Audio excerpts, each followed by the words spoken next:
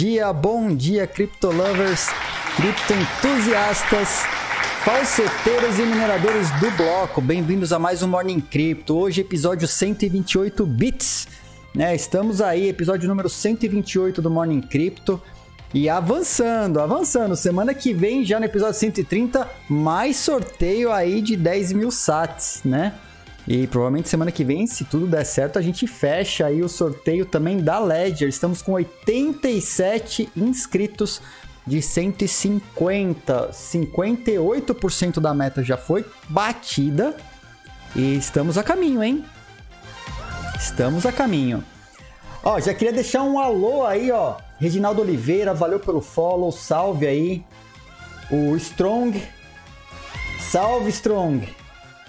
Galera aí que já deixou sub, já deixou follow. A galera que pegou NFT ontem, eu não consegui distribuir ainda, vocês devem ter percebido, não caiu nas wallets, mas do final de semana não passa. Não sei se eu consigo fazer hoje de novo. Acabei de chegar, quase não consigo botar a live de pé. Foi correndo aqui, né? Tive umas reuniões fora. E, mas tá a caminho. Estão a caminho, tá? Os cadastros Nadal também. Tá? EP especial, hein? É, é você tá falando do 130, né? Vale NFT? Ainda não. Acho que o especial, especial mesmo, né? Esse é, é, é moral. O especial vai ser o 150. Né? Então, pô, já faltam 20 episódios aí, é rapidinho, né? Vamos chegar lá rapidão.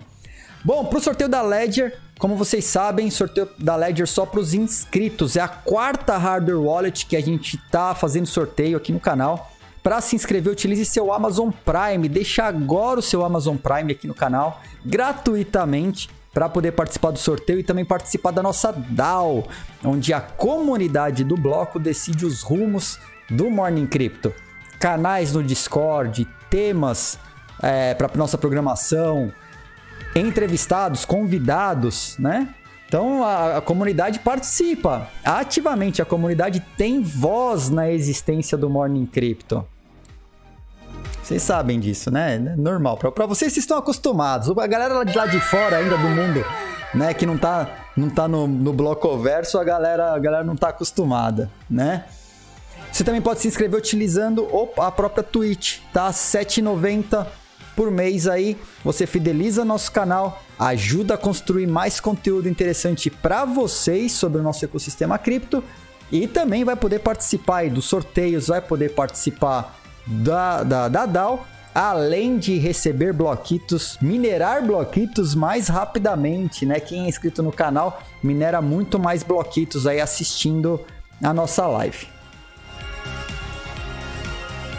Obrigado, Miojo. Valeu pelos cinco meses aí, cara. Tamo junto. Valeu pelo Prime. Valeu pelo Prime. Bom, sorteio aberto dos 1128 sats de hoje. Peguem os seus tickets. Peguem os seus tickets. Vamos lá pro Paga Marreco? Vamos lá pro Paga Marreco de hoje. A gente tinha ficado de olhar aí a variação da Shiba, né? Se ela estaria positiva ou negativa no programa de hoje. 5.613 bloquitos, 13 participantes, 46% apostou que estaria positiva e 54% apostou que estaria negativa. Como será que ficou? Né? Então vamos lá, ó. que rufe os tambores, vamos descobrir em que pé que tá essa Shiba. A gente vai falar mais de Shiba depois. O que será que aconteceu?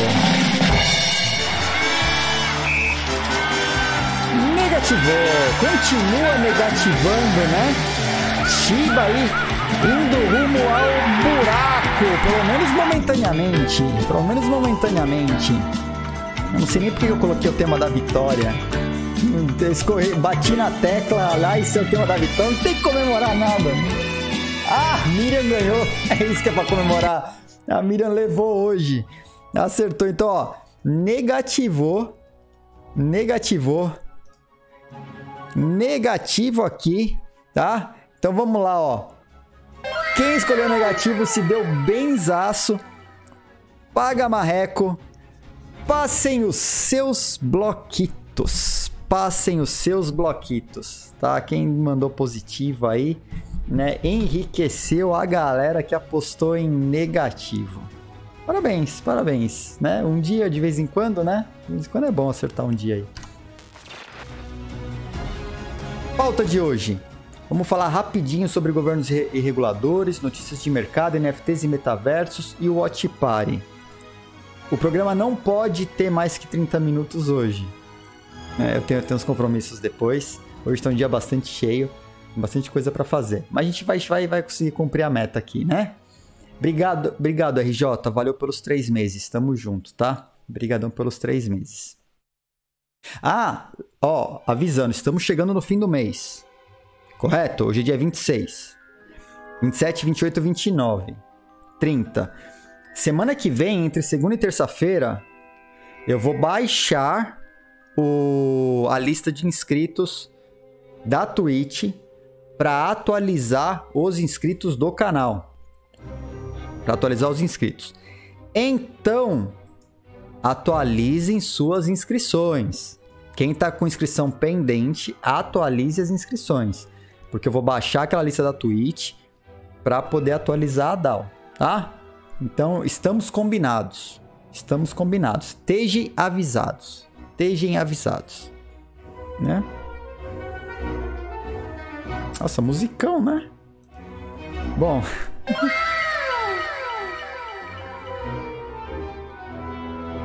O Elber, o Elber. O que aconteceu aqui, o Elber? O Elber minerou um bloco. É isso? Olha. Converteu a Prime Game pro Tier 1, sub. Obrigado, Elber. Brigadão. Obrigado pela força, né? Bom, vamos lá, ó. A gente falou da Hillary Clinton uh, essa semana. A gente falou da Hillary Clinton essa semana. Falando sobre regulação de cripto e tal. Né? Brigadão, Fábio, valeu pelos bits. A gente falou aí. Mas ela é ontem, ontem, né? Antes de ontem, ontem, ela mandou uma ótima dizendo que deve existir a regulação de cripto para parar a manipulação da Rússia e da China. Pelo menos, pelo menos ela não falou que era para para parar o comunismo, né? né? Ela mandou, né, para regular aí, para parar a manipulação da Rússia China. Pelo menos ela mandou. É, a gente tem que, tem que regular a cripto para não ter a invasão comunista, porque, né, os comunistas estão chegando. Mas ela. Ela aqui, ó, a gente. Ah, meu Deus. Pera aí, pera aí, que isso aqui a gente tem que. Ô, oh, santo. Calma lá, calma lá. Cadê o Ricardo? Tô caçando aqui. O Ricardo some de vez em quando, mano. Não. não, para, para, para. Não é isso, não. O Ricardo começou, era pra falar o bagulho em, em português, ele foi mandar em inglês, tá louco. Ricardo, volta, volta aí. Volta aí agora. É esse. Não estamos olhando apenas para estados como China, Rússia ou outros que manipulam tecnologia de todos os tipos em seu benefício. Estamos olhando para atores não estatais, seja em concerto com estados ou em seus próprios países desestabilizando, desestabilizando o dólar como moeda de reserva. Então, isso aqui para a gente é muito claro, né? Os Estados Unidos, é, eles são extremamente territorialistas, eles querem tentar proteger a todo custo o dólar, né? é, é patrimônio americano, só eles emitem dólar, né? Pelo menos o dólar americano. O dólar americano só eles emitem. E querem continuar aí fazendo a sua livre emissão de dólares sem ninguém enchendo o saco. Eles querem continuar continuar imprimindo trilhões de dólares, né? Justamente para quê? Para combater a inflação, né? Inflação gera estabilidade, de acordo com eles. E por isso, por isso, tem que ter regulação. Tem que ter regulação, muito embora, né? A gente não está só olhando para a Rússia e China que manipula os mercados. A gente também quer proteger dos outros caras aí que estão chegando que podem comprometer a estabilidade do dólar. Como se o dólar fosse estável. Né? Como, como se o Biden já não fizesse esse trabalho de graça, né? Eles podiam, ela podia mandar assim, é, é pela, pela estabilidade financeira monetária dos Estados Unidos, interdito o Biden. Né? Não faria sentido mandar uma dessa? Se ela quer colocar dentro desse contexto, né? Inter, interdita o presidente, pô. Interdita o dedo louco lá que fica apertando o botão da impressora, pô. Fica apertando lá o botão de cópia. Caramba, né? É, ó, Feliciano, é sinal que tá no caminho certo, né? Sinal que tá no caminho certo. O, a, o Bitcoin, principalmente, ele veio aí para tentar é, criar uma barreira entre Estado e moeda. E aí você tem um ambiente absolutamente digital, internetico, é onde o Bitcoin reina, né? É onde o Bitcoin reina. Então temos aí Hillary Clinton. Ela quer mais, mais regulação para proteger, né? Aí da China, da Rússia, da ameaça comunista. E obviamente, né, proteger a reserva, uh, o, o, dólar como moeda, de, como reserva monetária. Talvez interplanetária, né? Eles querem. Eles querem. Se vai ser é outra história. Agora que tem tentativa aí. Eita, saiu o que? Um Squirrel? Aí no Hype Train? É isso? É, é, uma, é uma tartaruga? É o Squirtle. Não, não é? Squirtle? Não Squirrel, mas, mas Squirtle. Pô, Pokémon, cara, é o Squirtle.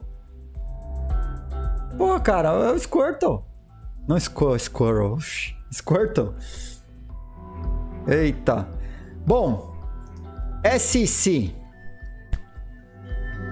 Depois de tudo, depois de regulação saindo no projeto de lei que foi assinado pelo Biden, depois de toda a treta dos congressistas indo aí escutar, depois de tudo isso, os congressistas foram escutar, fizeram uma audiência pública para escutar o mercado cripto, para aprender. Então os caras primeiro criaram a regulação, depois faz audiência pública para ir lá conversar com o mercado. Agora a SEC, dia 2 de dezembro, vai fazer um painel de discussão e vai incluir cripto no painel. Pois é, pois é, vejam vocês, vejam vocês. Antes tarde do que nunca, né? Melhor do que nada, sem sombra de dúvidas, sem sombra de dúvidas. Então os caras estão trazendo essas pessoas aqui, professor, uh... os teus caras aqui, eu não conheço. Sinceramente, eu, não conheço. Ah, conheço o cara da OnRamp. A o, o Tyrone é famoso. CEO da OnRamp. Quem mais? Ó, tem um cara aqui, é, Chief Legal Officer da Gemini. É, é a exchange aí dos irmãos Winklevoss. E a Christian Smith da The Blockchain Association, que eu desconheço. Se for igual as Blockchain Association que tem no, no BR, né? Que fazer mesmo, né? Te contar, viu? As Blockchain Association do, do BR aí. Minha nossa. E quando vai criar, ao invés de criar uma, já cria logo duas. Concorrentes, né? E na verdade, na verdade, a gente sabe que a verdade era uma foi criada para Atlas, uma era a associação da Atlas. E a outra era das outras empresas, que não eram a Atlas, né? Então na, na na associação de blockchain da Atlas lá, pegaram é, cara é, lobista, cara do governo, né, é, CVM e cara desses mercados aí, né, pagavam uma fortuna em, em, em dinheiros brasileiros para para pagar, né? Para pagar, para fazer os lobbies deles lá, que é como como funciona. E tem a outra associação ah, eu tô por fora em que pé que estão essas associações aí no Brasil, viu? A AB Crypto, acho que a, a ficou. É a AB Crypto que ficou? Acho que é a AB Crypto que ficou. Não sei nem quem tá presidindo tal, mas putz, cara, é. Uma associação criada pelas exchanges, mas as exchanges não entram em acordo, a associação não faz nada, elas acabam dando dinheiro para alguém lá, cara. Dá dinheiro, a associação tá lá pegando dinheiro das exchanges, paga um pouquinho, elas que têm grana, e põe dinheiro na mão do presidente. Né? É, é. É para fazer lobby, né? Para interesse deles, assim. No caso das exchanges, não da, não do mercado, não do mercado, né? Por exemplo, o Bitburger lembrou aí no chat, né? A Bcrypto tava tratando com a Binance ou tretando com a Binance? Eu acho que é tretando, né? Por exemplo, a Binance estava com um produto de futuros. Aí a AB Crypto, representando as exchanges, ao invés de ir na CVM e falar, ô, oh, se a Binance está vendendo produto no Brasil, a gente tem que poder vender também. Não é a ideia? Né? Se os caras estão vendendo, pô, deixa a gente vender também. Não vem encher nosso saco. Mas não, a AB Crypto foi lá na CVM pedir para fazerem a Binance parar. Pô, mano, isso não me desceu até hoje, cara. Não me desceu até hoje. Que, que ideia maravilhosa, né, o Batman? Invés, em vez de ir lá falar com o regulador, falar, vocês estão deixando o cara fazer, a gente também quer fazer porque o produto é bom pro mercado, é interessante, não. Os caras vão lá, para fazer os caras pararem o produto. Parar, descontinuar o produto. Ah, cara, aí, aí, aí eu fiquei pá, cara. Eu falei, pô, associação, é isso, cara? Que, que interesses do mercado é esse? Que mercado, que mercado tonto, né? Que, que mercado, tipo, sem perspectiva, né? Os caras, ao invés de expandir os produtos e trazer, liber, conseguir a liberação de novas coisas, não, pede pro outro parar. Faz o regulador ir lá olhar e falar: ah, ó, ó, ó, o outro lá, ó o outro lá. Faz ele parar. Porra, cara. Oi, vai falar que as exchange brasileiras aí não tem dinheiro? Pode ter umas mais, outras menos, mas que tem dinheiro, tem, meu amigo. Né? Mas mas mesmo assim não faz sentido o, o, o Bitburger. Tá, fizeram porque a, as exchanges BR tem, não consegue 10%. Pô, então se não consegue 10%, de repente com um produto novo consegue chegar a 9%. Se, se é 5%, chega a 8, 9 e expande o mercado. Não fechar o mercado. Você, você, você não abre novas. No, no, você não abre novos caminhos construindo muralhas. Não é? Não é por aí? Você não, você, não abre uma nova estrada construindo uma muralha, né? Você vai lá e vai abrir novas vias, vai trabalhar para expansão, não construindo muralhas para fechar no cercadinho. É, cara, e porra. Nossa, cara, foi muito muito badaro o que os caras fizeram assim. Eu discordo. Eu ab absolutamente discordo. Não. Pô, mas é, você não faz parte da, da, da associação, você não pode falar, eu não faço parte da associação por causa desse tipo de coisa. Se tivesse mesmo vendo o interesse do mercado, né? Não vou fazer parte da associação por causa desse tipo de tralha. Cara, é. é né? Porra. Não, né? Tá, né? Pô. Bom. Então tá aqui, ó, a notícia oficial da SEC.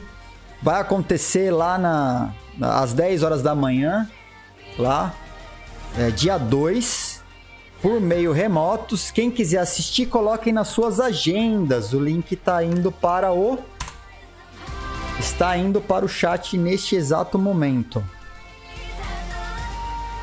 Eu não sei exatamente que horas que vai dar, eu não coloquei na minha agenda. Mas eu, eu, vou, eu preciso lembrar de colocar, porque pode ser interessante assistir. Aí a gente acompanha, né? A gente abre a live aí e de repente acompanha. Esses eventos todos, precisava até fazer uma compilação de agenda. Inclusive vocês aí, bloco, né? Vocês aí. Quiser compilar uma agenda, muito me ajuda. Do que vocês encontrarem, que gostaria que assistisse, que fosse comentando tal. Monta uma agendinha, bota lá no Discord e a gente vê o que eu consegui encaixar com a minha agenda aqui, eu abro a live. Né? A gente vai junto lá descobrir o que, que os caras estão discutindo, que qual, qual, quais as ideias mirabolantes que esses caras têm pro mercado. E a gente vai acompanhando, né? Então, ajuda aí o que vocês acharem de evento online. Pode ser em qualquer idioma, tá? Pode ser em qualquer idioma. De preferência inglês, né? Mas qualquer idioma. A gente tem aquele super tradutor lá que a gente vai no radinho de pilha, cara. A gente solta o tradutor super lá, vamos ver o que a galera tá falando. Mesmo se for em chinês, tailandês, a gente dá um jeito, cara. A gente tem um tradutor quântico lá. Né? Os, os bots, os bots estão aí para isso, estão sendo pagos para isso. Tem o primo do Ricardo lá, né, que fica traduzindo. Cara, tá sendo pago, cara. Tá sendo pago. Tá traduzindo. Vamos botar, vamos botar o primo do Ricardo pra trampar, né? Então monta a agendinha, o que vocês acharem de legal aí. Se encaixar com, com, com a minha agenda, eu abro a live, se acharem de legal. Também, obviamente, fazer uma pesquisa. Agora, fim de ano, tem muito pouco evento, tá? Mas do começo do ano em diante, aí vai ter muita coisa. Ainda mais que volta os eventos presenciais. Então vai ter muito evento legal. Porque evento online, isso é muito chato, né? É muito chato. Agora, eventinho presencial, com público, painel, discussão lá no cara a cara, ver o cara ficar vermelho. Oh, isso é legal, né? Isso é legal de assistir. tivesse um da Índia, seria legal para ver o que tá rolando. Pode ser, pode ser, só precisa achar, né? Vamos ver, vamos ver. Pô, planos aí, hein? Planos aí para expansão aí, inclusive da produção de conteúdo. Já tem quase 400 horas só de conteúdo publicado. Quase 400, né? Vamos acelerar, acelerar. Bom, mas a SC não teve só a ideia mirabolante não de fazer um painel sobre blockchain, mas também está indo neste momento na cola de ninguém mais, né, que, que aí já né, não é a, exatamente a, a SC, mas o Senado americano. Indo na cola da Tether. Então você tem a SEC enchendo o saco da Tether aí no mercado. E agora também, olha só, o Senado. E o Senado americano veio com uma lista de questionamentos. É que ele dizia aqui, ó, já começa logo no primeiro parágrafo.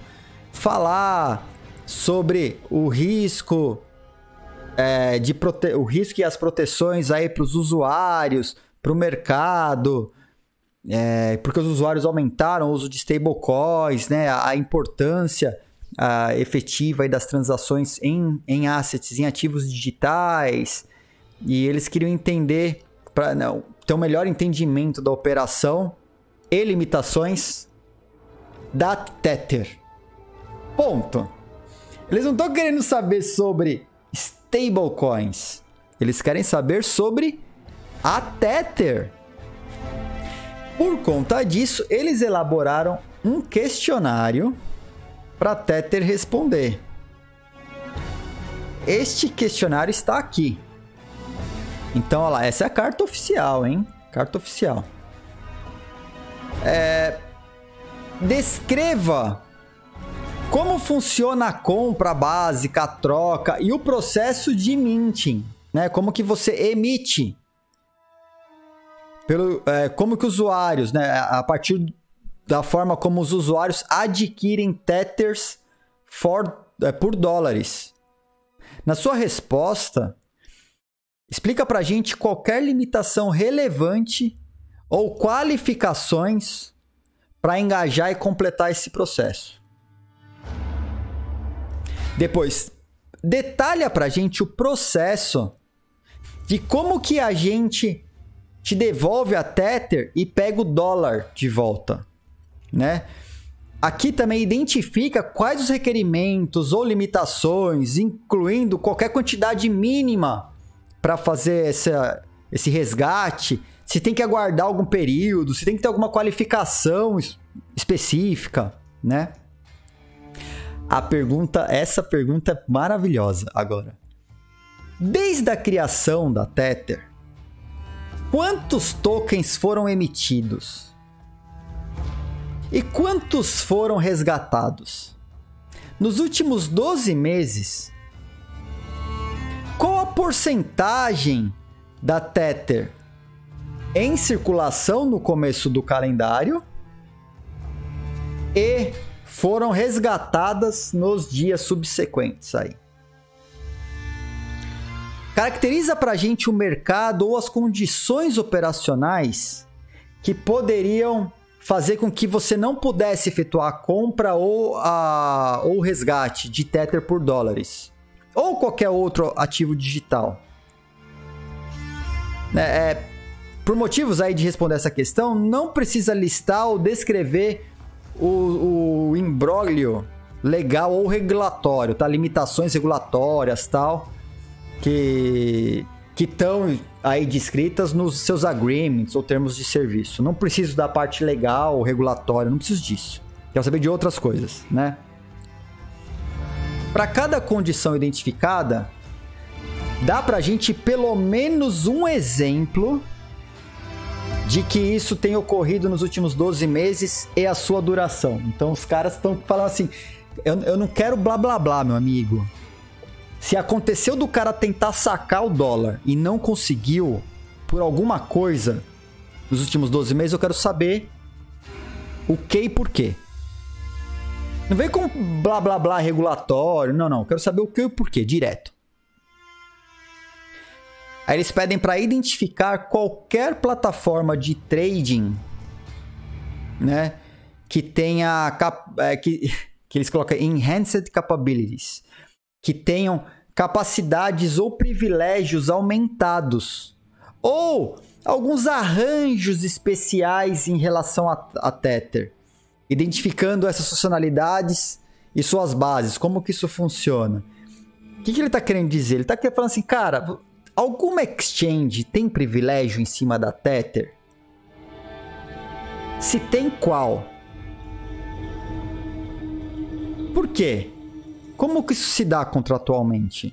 Como que se dá? Como que esse controle, como, como, que, como que alguém é melhor que o outro quando vocês estão avaliando as empresas que vão, que vocês vão trabalhar junto, né? E aí o item 6, eles trazem aí, ó, é, cria aí, sumariza pra gente, né, os reviews internos ou estudos que a sua, que a sua empresa vem conduzindo sobre os níveis de resgate que podem afetar a Tether, incluindo a conversibilidade para dólar e que poderia afetar qualquer posição financeira da empresa, né? Responda acima e até o dia 3. Então, a resposta da Tether, que vai ser via carta, em princípio, até o dia 3. Provavelmente dia 3, né? Imagino que eles devem estar com um time de advogados e financeiro debruçados em cima para ver o que vão apresentar aqui pro, pro Senado. Então, assim, essa novela da Tether continua. Tá muito claro. Não é só mais regulador, mas governo. A gente vê aí falas da Hillary Clinton a gente vê falas de outros outros seres atuantes no governo americano também pedindo mais regulação. A gente já falou aqui no Morning Crypto por diversas vezes que os governos estão mais preocupados com as stablecoins do que a cripto em si, né? Principalmente com a Tether por motivos óbvios. Por motivos óbvios. Então vamos acompanhar aqui o desfecho dessa novela, acompanhando bem de perto aí o que vai acontecer com a com a Tether, tá? A coisa vai vai caminhando. Felício mandou ali, ó. Acho que vai dar uma bagunçada temporária de forma geral, mas depois se estabiliza, né? É, estar exposto a Tether tá bem arriscado. É, é, assim, é totalmente no escuro, né? Então acho que se expor a Tether Se você falar assim, cara, eu, eu vou tirar de uma exchange e levar para outra agora. Não, você usou Tether como trilho. Poderia utilizar Solana. É, eu, esses dias eu fiz uma experiência, cara. Ó, olha só, olha a experiência. Tinha que transportar umas cripto de uma exchange para outra, né? Queria levar um valor de uma exchange para outra. Em Bitcoin, em Bitcoin, ia sair alguma coisa aí na casa de.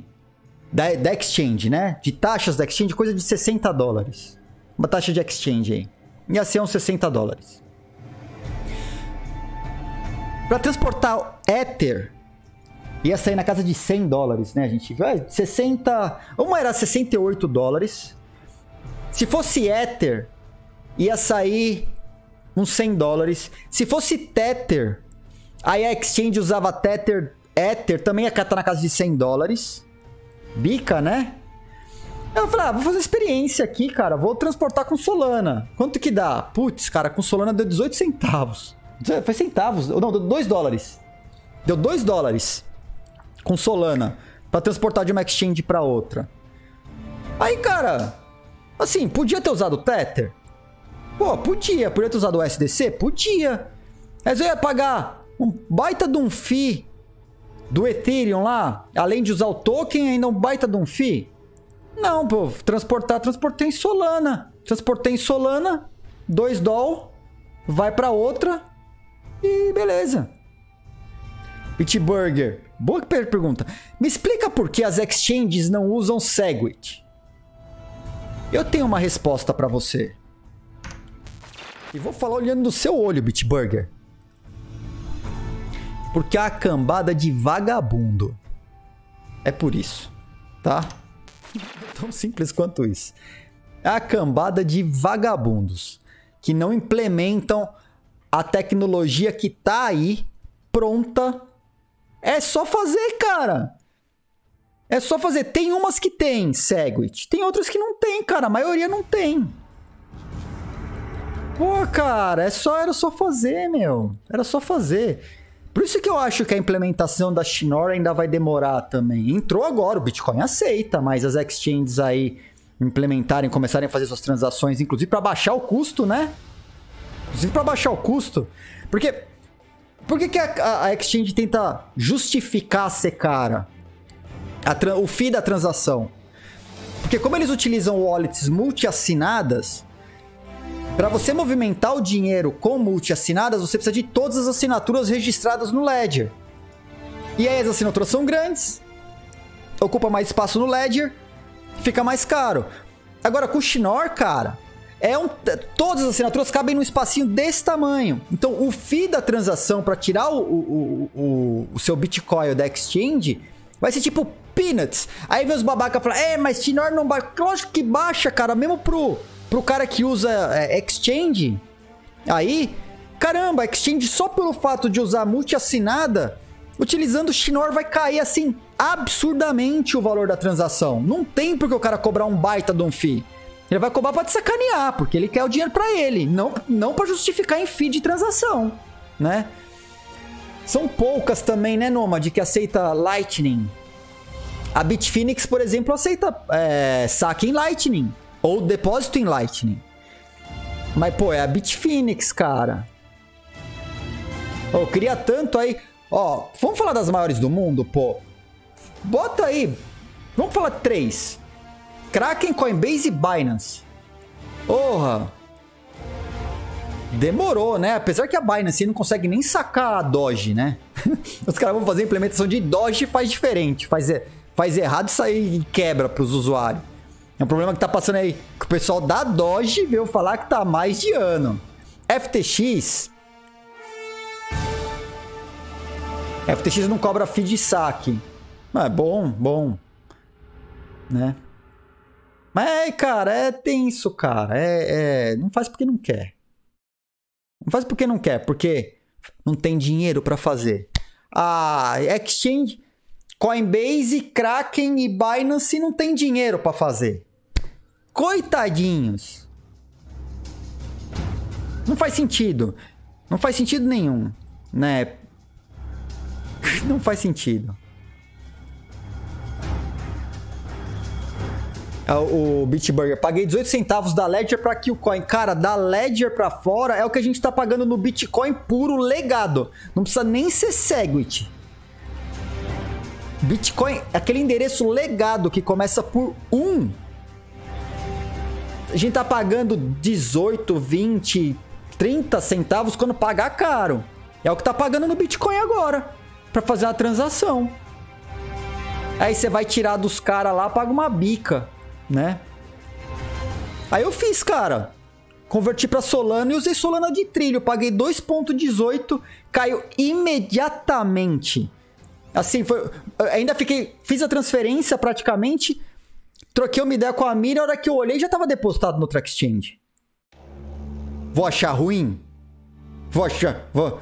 Ah, é, mas é, é Solana porque você traz. Eu falei, cara, pra usar de trilho, em poucos segundos, vou achar ruim que tô pagando menos aqui?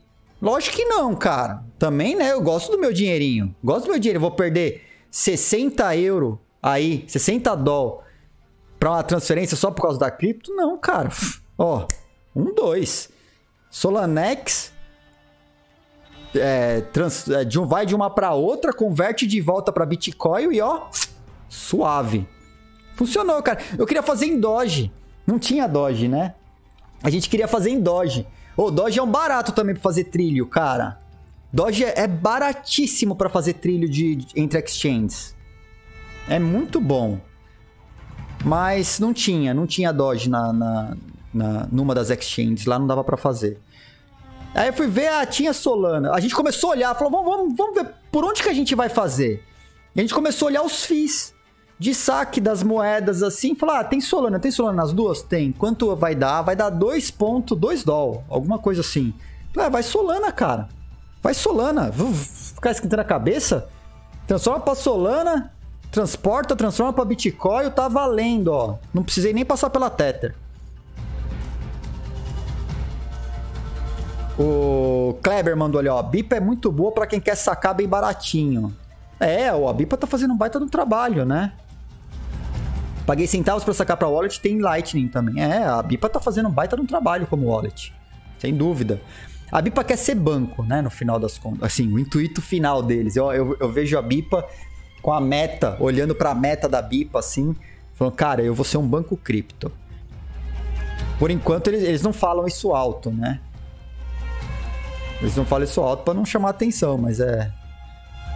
Continuando aqui, ó. É, um consórcio japonês aí planeja emitir uh, o, o, o yuan digital já para o final do próximo ano. Então, Yuan, Yen Digital. Yuan Digital já tem. O Yen Digital. O Yen Digital já pro final do próximo ano. Já tá na meta dos caras aí. Formaram um grupo de trabalho. A gente já tinha acompanhado o Japão falando que eles, no comecinho do ano de 2022, eles iam montar um grupo de trabalho para começar a estudar. Aparentemente, eles adiantaram um mesinho aí, né? Adiantaram um mesinho aí. Então, pro final do ano, pro final do ano, teremos aí notícias sobre uh, eh, Yen Digital. E olha só, eles estão focados, a última linha aqui, eles estão focados em transações comerciais, que é diferente do Yuan Digital, que é para colocar a CBDC na mão do povo o governo japonês, eles não estão pensando em colocar o ien digital na mão da galera geral. Eles querem colocar aí na mão das empresas para possivelmente facilitar a contratação de serviços, né? Vai contratar um serviço na China, a gente já falou sobre isso. Daqui a uns anos vai ser muito mais fácil você pegar o, o yuan digital para comprar coisas na China do que você ter que mandar dólar. Os caras lá vai ser melhor. Como eu falar, cara, você vai mandar dólar, cara? Eu vou ter baita de um trabalho aqui para converter o maldito do dólar pro, pro meu dinheiro aqui. Me pague um ano digital e tá tudo certo. Então, o banco, bancos na, no Japão, até eu tô bem próximo do, do ecossistema de fintechs do Japão. Inclusive, eu participo do o, o Startup Estonia japonês, né? É, mais de uma, de uma cidade, porque cada cidade tem a sua e elas são, são bem independentes nesse sentido. Mas eu tô muito próximo dessa do governo japonês de Fukuoka. O pessoal de Fukuoka. É, inclusive, né, fui finalista lá num, um, a única startup ocidental finalista num campeonato de startups lá em Fukuoka, né? É óbvio que essas startups ganharam todas locais. Eu era um alienígena, um alienígena, né? Eu fui o único que fez a apresentação em inglês lá. Não, teve, teve uma, outra, uma outra startup tailandesa que fez em inglês também. Então, fora a startup tailandesa, aí era eu aqui no, no Ocidente, né, em inglês. E eu tô bem próximo, tenho bastante contato com eles, inclusive. O governo estoniano, a embaixada estoniana tá representando a Original Mai lá no Japão nessas conversas junto com o governo. Que é muito bacana. Pode não sair nada? Muito provavelmente, mas é legal estar tá lá conversando com o governo através do governo é, estoniano também. E o principal problema lá são os bancos e o ambiente de fintech que eles querem desburocratizar. Cara, tudo com. O, Japão é muito burocrático. É, pa parece, né, estranho, porque o Japão é tão moderno, tem tanta tecnologia, tem tanta coisa. Mas os processos no Japão, minha gente, é tudo complicado lá, cara. E, e entre cidadão e governo, é tudo manual, tudo no papel. É incrível. É incrível. Eles têm. Pra você ter ideia, o governo não consegue. O governo tem limitações até com o próprio aplicativo de identidade digital e assinatura digital dos caras, que os caras vieram na Estônia levar o modelo. Não conseguem, porque tem uma lei lá, que, por exemplo, aqui. Aqui todo mundo pede o seu CPF, né? Você vai. No, estado, no Brasil. Você vai fazer uma compra, passa o CPF. Não sei o que lá, CPF, CPF, CPF, CPF pra lá, CPF pra cá. No Japão, você tem esse código, esse código é proibido de passar adiante. Se a empresa vaz... Se uma empresa pegou esse código e vazou ainda por cima, as punições lá são ferradíssimas. Então os caras são assim, super burocráticos, super conservador em relação é, à, à tecnologia, à inovação nessa relação do governo. E aí, com relação do governo, você pega instituições muito tradicionais, né? Bancos. Bancos entram nessa, né, nesse rolo aí. E eles estão desesperados, cara. E eles estão fazendo muita coisa buscando fintechs. Eles querem, querem achar inovações que eles possam incubar em algumas cidades com projetos piloto para para desburocratizar e, né? Então, bom, aparentemente aqui para mim tá claro, é, inclusive levando em consideração esse cenário onde o Japão é muito conservador, eles não quererem colocar o ien digital diretamente na mão da população, mas sim na mão do comércio para facilitar as trocas entre empresas. Depois, depois se der certo, vai pro povo, né? Daqui tipo 350 anos.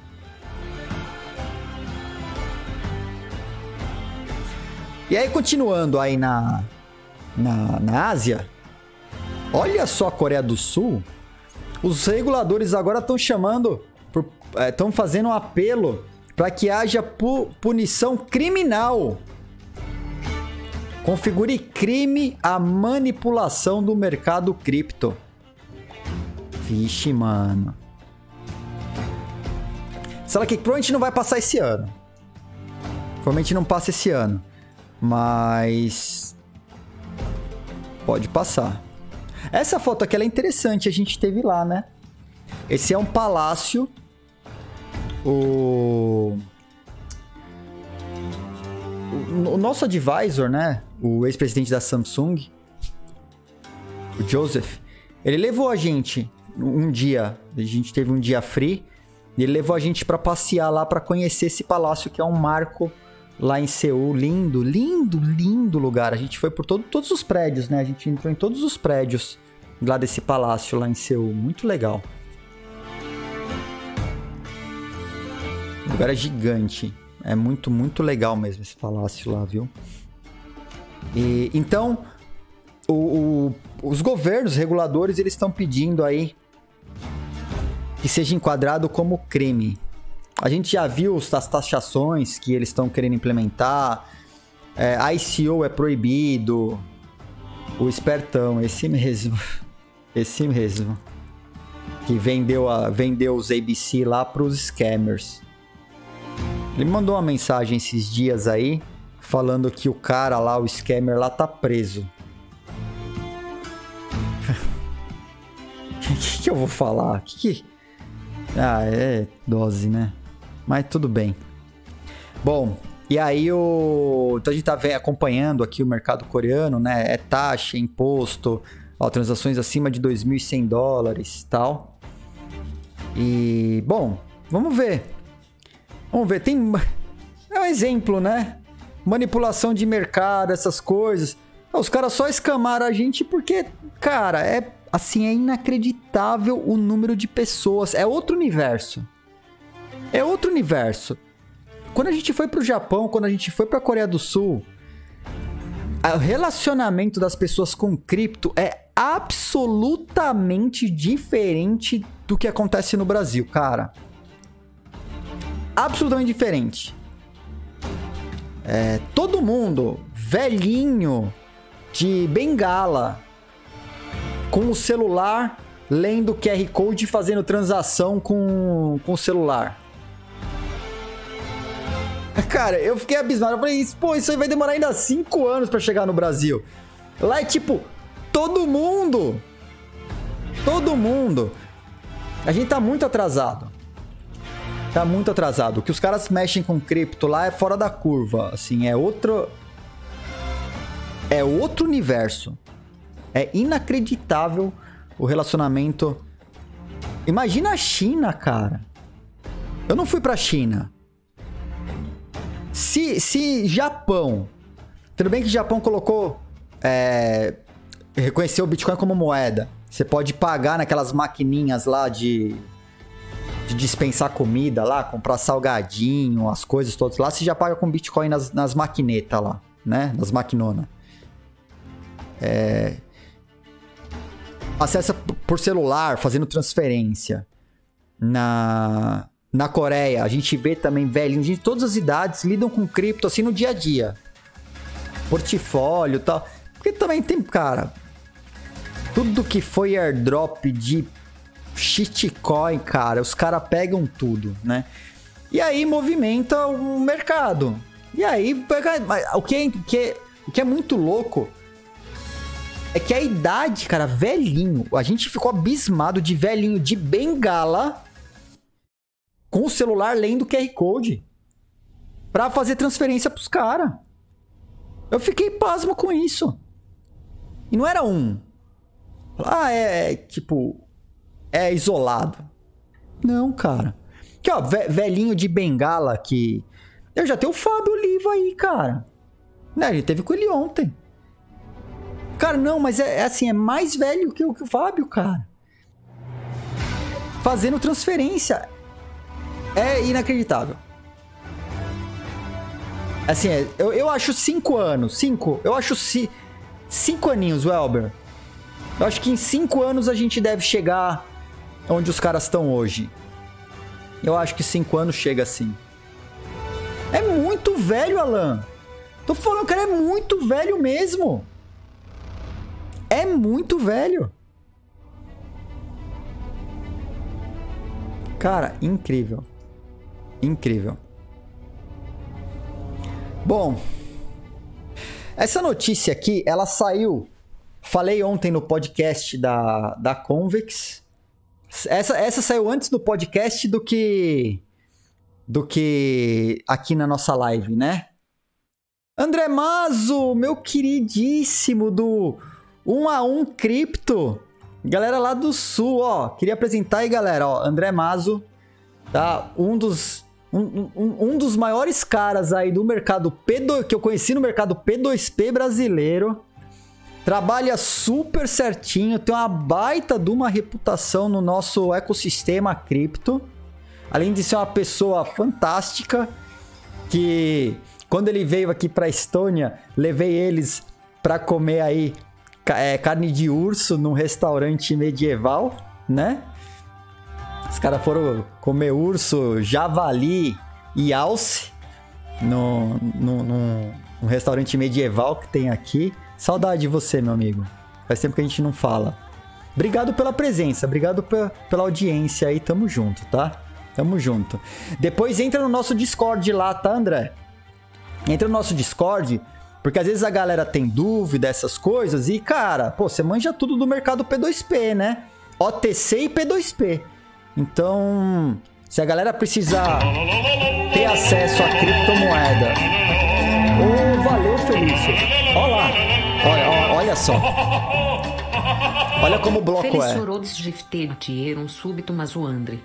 Tem Ó, aves de vem 29 gift subs in the channel. Foi convertido a minerador do bloco. Foi convertido pelo Felício Rhodes. Obrigado, Felício, tá? Felício acabou de te dropar, André, uma sub aqui do canal. Com a sub, no Discord você tem acesso aos canais Sub Only e DAO. Com isso você também pode se inscrever e pegar o seu ticket para o sorteio da Ledger. E também pode se inscrever e participar da DAO do Morning Crypto. Não sei se você sabe, André. O Morning Crypto é uma DAO. É uma DAO governada pela comunidade do bloco. E o bloco decide pautas, decide canais, decide entrevistas, decide um monte de coisas, cara. Que é o que não é, decide um monte de coisa na nossa DAO até transferência de recursos, tá? Do fundo da DAO. Então a gente tá bem, bem caminhando aí, tá avançado já, tá caminhando. E ainda ganha bloquitos, né?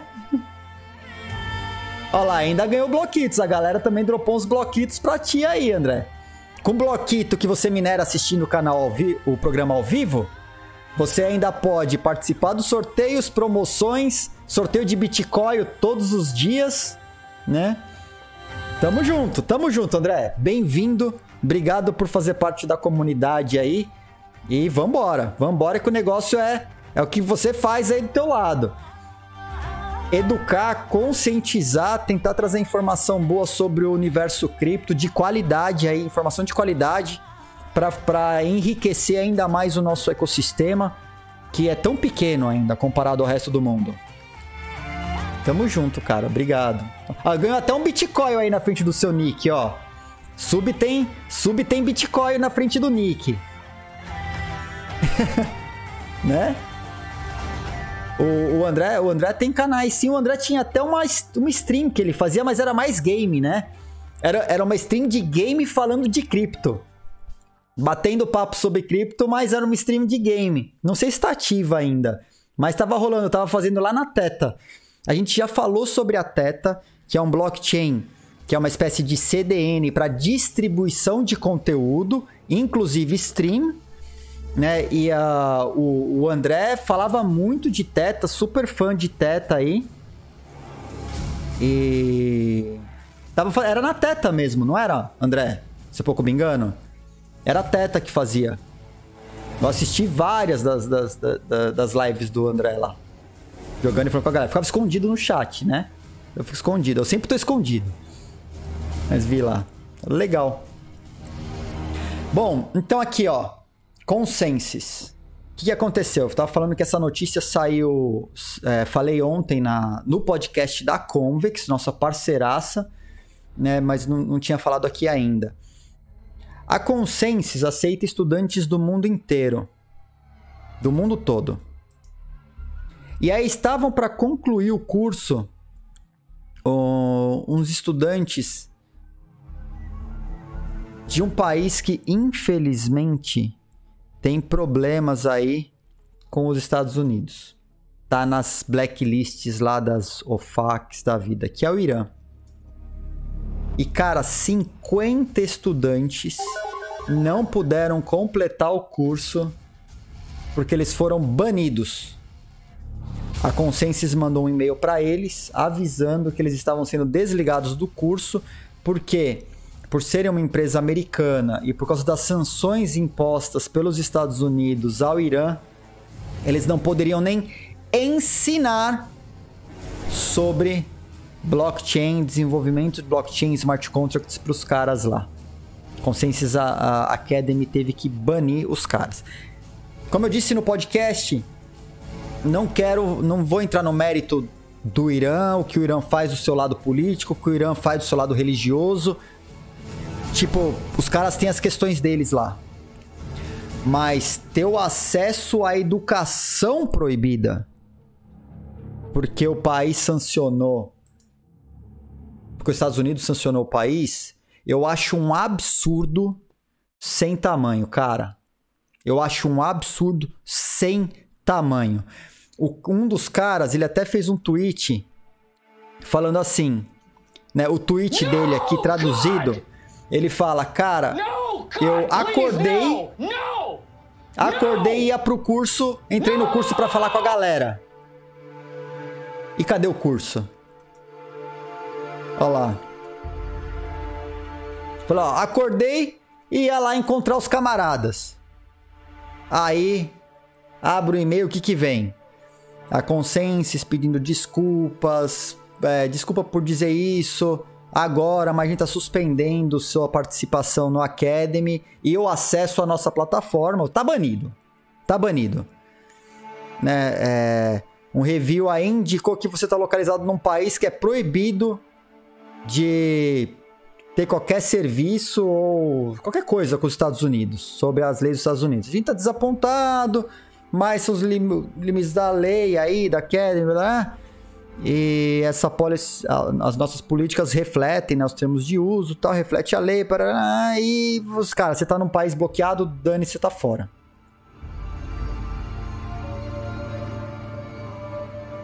Puta, cara, eu fico eu fico bem pá com isso né, no, no, no podcast ontem eu pude comentar, não pude mostrar. E aqui tá, pô, post do cara, meu. Acordei, mas acordei e fui tirar onda lá com os, com os brother. Quando eu abri o computador, vi esse e-mail. E aí, o e-mail dos banindo dos caras. Cara, tem que ter isso. Universidade de Santiago Open Source para que pessoas de Pessoas que queiram estudar e aprender de qualquer lugar do mundo não podem. Essa universidade open source, agora mais que tudo, ela tem que ser uma DAO. Ela tem que ser uma DAO. Para que não possa haver a mínima possibilidade de censura. Universidade de Santiago Nakamoto, para quem não sabe do que se trata, Santiago Nakamoto é uma brincadeira do bloco que inventou moda aí com esse. Existe esse ícone aí, imaginário, Santiago Nakamoto, que é primo do criador do Bitcoin, o Satoshi Nakamoto. Então tem o Santiago Nakamoto, que é um primo dele. Então a Universidade de Santiago de Open Source é a Universidade de Santiago Nakamoto, né? E que é um plano meu, é, antigo, uma universidade open source, que eu tenho a ideia de viabilizar isso. E quero, quero achar meios de fazer. E agora, depois de ver isso, me fica muito mais claro o papel e a importância de uma instituição descentralizada, aberta, acessível e incensurável. Para que qualquer um, não importa o país que você esteja, não importa se a religião do seu país faz caca. Não importa se o governo do seu país faz caca. Importa que se você estiver atrás de informação de qualidade para poder se libertar das garras de governos, religiões e tudo mais e ter seu trabalho, sua vida financeira, ser quem você quiser ser num mundo conectado dentro da internet, você possa exercer sem que esse tipo de barbaridade, que eu considero uma barbaridade, aconteça. Que é um absurdo sem tamanho. Tá? Eu acho que a gente vai achar o caminho. Para mim tá claro que é uma DAO. Para mim tá claro que é nas linhas de um DeFi.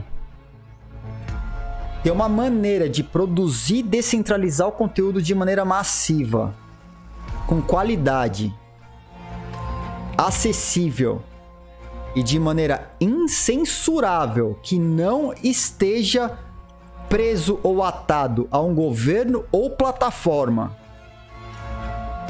para ter acesso que a gente possa chamar de verdade de acesso universal à informação. Que isso que aconteceu com a Consensus mostra que a Consensus é uma, obviamente, é uma empresa, está sob as leis dos Estados Unidos, e se os Estados Unidos não vai com a sua cara, meu amigo, vai ser banido. Não precisa isso com a sua cara. Porque os estudantes muitas vezes não tem nada a ver com a treta política, religiosa, as tretas que, eles, que eles têm entre governos, né? Pô, o estudante, cara, o cara tá aprendendo tecnologia para desenvolver o que vai ser o futuro do nosso planeta e o maluco tem o acesso negado, o acesso à informação limitado, porque o governo resolveu virar a cara pro outro governo. Dane-se os motivos. Tá? Eu acho que não, cara. Acesso à informação e à educação ele não tem, ele é apolítico, não tem religião. Ele tem que ter só vontade da pessoa e ter o acesso ao conteúdo e o, e o conteúdo tá lá disponível para ela. Não como, ah, ah mas tá no YouTube. Putz, tá no YouTube, mas é plataforma centralizada. Ah, mas tá na Twitch. Puta, Twitch é centralizada, tá sob o governo americano, aí tem os caras, eles vão banir os países, o país não vai acessar. Porque eles definem de uma hora para outra quem pode acessar seu conteúdo. Tem que ser uma maneira legitimamente aberta, descentralizada e de acesso irrestrito e incensurável. É, o que nem o Felício mandou ali, né? Era meu amigo até que o presidente falou que não é mais. Pois é. Né? Cara, ah, então. É, acontece o tempo todo, cara. Teve uma, eu acho, eu acho que eu esqueci de trazer.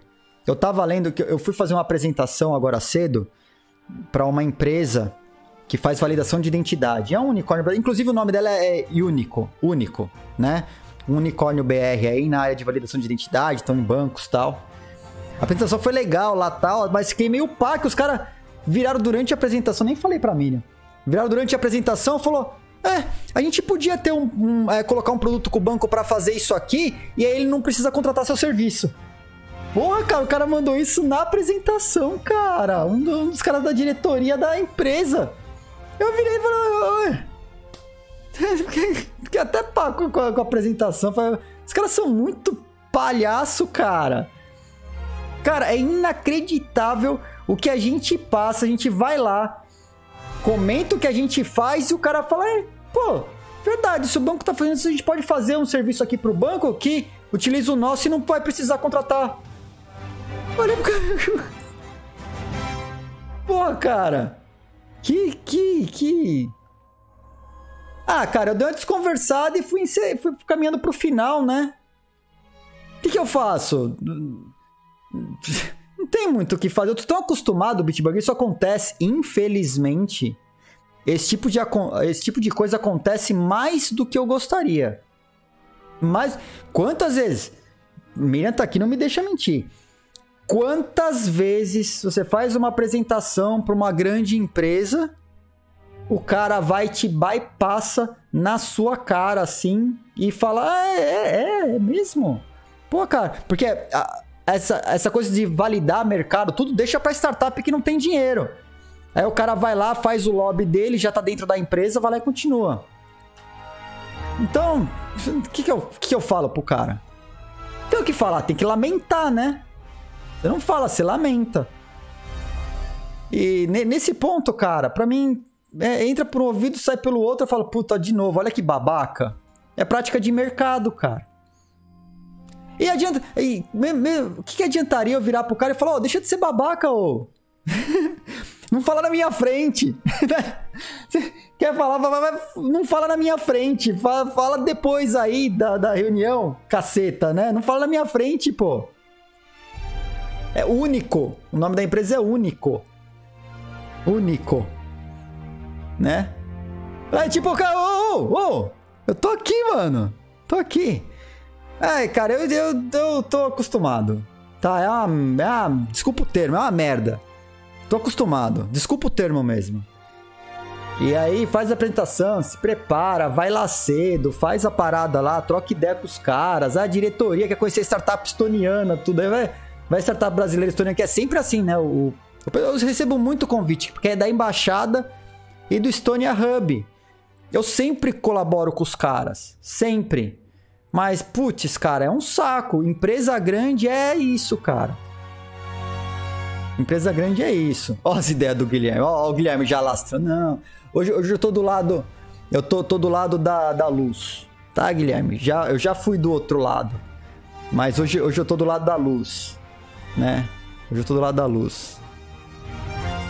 É dose, cara. É dose. Bom, continuando. Continuando, né? Já fiquei pá de novo com isso. Aí, beleza. Vamos, vamos, ó. Vamos falar de governos, essa tralha toda. Isso. Tá anotado nossa Universidade Open Source e o porquê tá cada vez mais claro da necessidade dessa universidade open source aberta de acesso irrestrito à informação. A gente vai chegar lá, cara. A gente vai chegar lá. A gente vai achar os meios. Eu não tô. E quando eu falo isso, não significa que, ah, vamos fazer um blockchain para isso, fazer um ICO. Não. Assim como eu não fiz ICO para botar o bloco de pé, para fazer a DAO, para NFT, eu não acredito que a gente precise. Obviamente vai precisar de recurso. A gente vai achar os meios para levantar recurso para isso. Mas eu, eu acredito muito que estão saindo tecnologias que, quando conectadas, elas vão dar a liga que a gente precisa para essa coisa funcionar. Tá? A gente tem hoje uma Arrive e uma Filecoin para storage de conteúdo.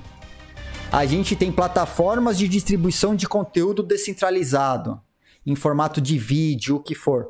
Então a gente está chegando num modelo que, muito embora tenham blockchains especializados para cada uma dessas coisas, eu acho que utilizando uma Torchain da vida, uma Cosmos da vida, a gente vai conseguir fazer uma, uma, uma polca da vida, uma Polkadot da vida.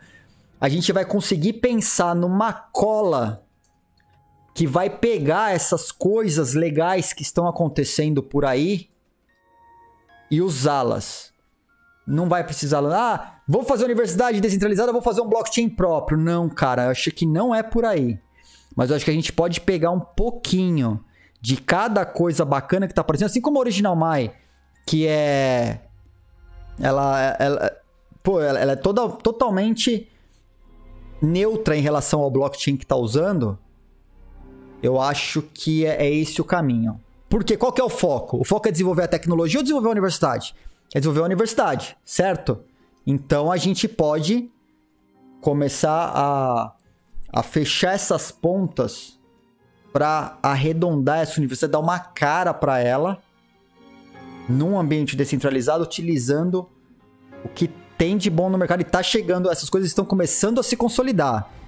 Para armazenamento de conteúdo com Filecoin e Arweave para interoperabilidade dos blockchains, uma Polkadot, Cosmos e Torchain.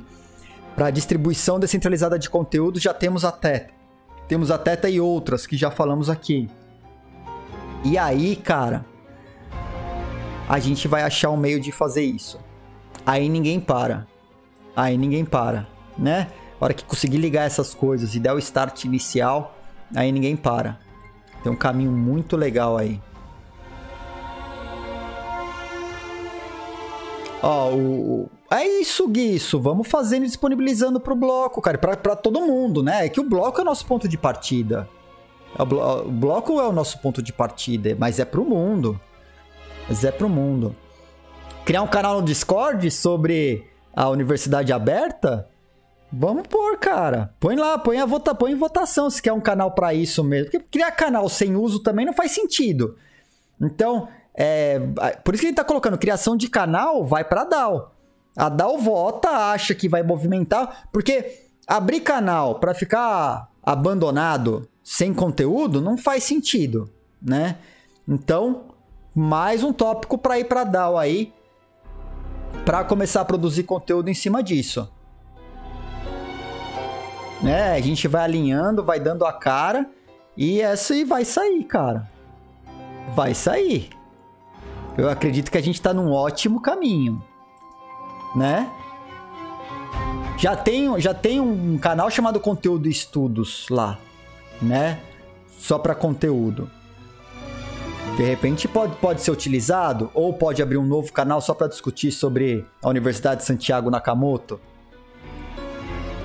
Que eu acho que é esse o nome já, né? Já tem capa da apostila, já tem, né? Já fizeram a capa da. Porra, porra, cara. Porra. Cadê? Pera aí, ó. Não sei quem, quem, quem não viu. Olha isso. Pera aí, pera aí. Olha, olha, olha o que foi feito. Isso foi feito pela galera do bloco, pô. Olha aqui. Cara, Universidade de Santiago Nakamoto, capa da apostila. Foi feito pelo bloco. Ó. Ideia de conteúdo por Gaut, Tuco Albuquerque e a arte do Pump, cara. Né? E vai, vai se criando, mano. Olha, olha isso, cara. Olha essa ca capa da... Mano, ficou... Porra. Deixa eu tirar aqui, trocar ó. Eu tô na frente, ó.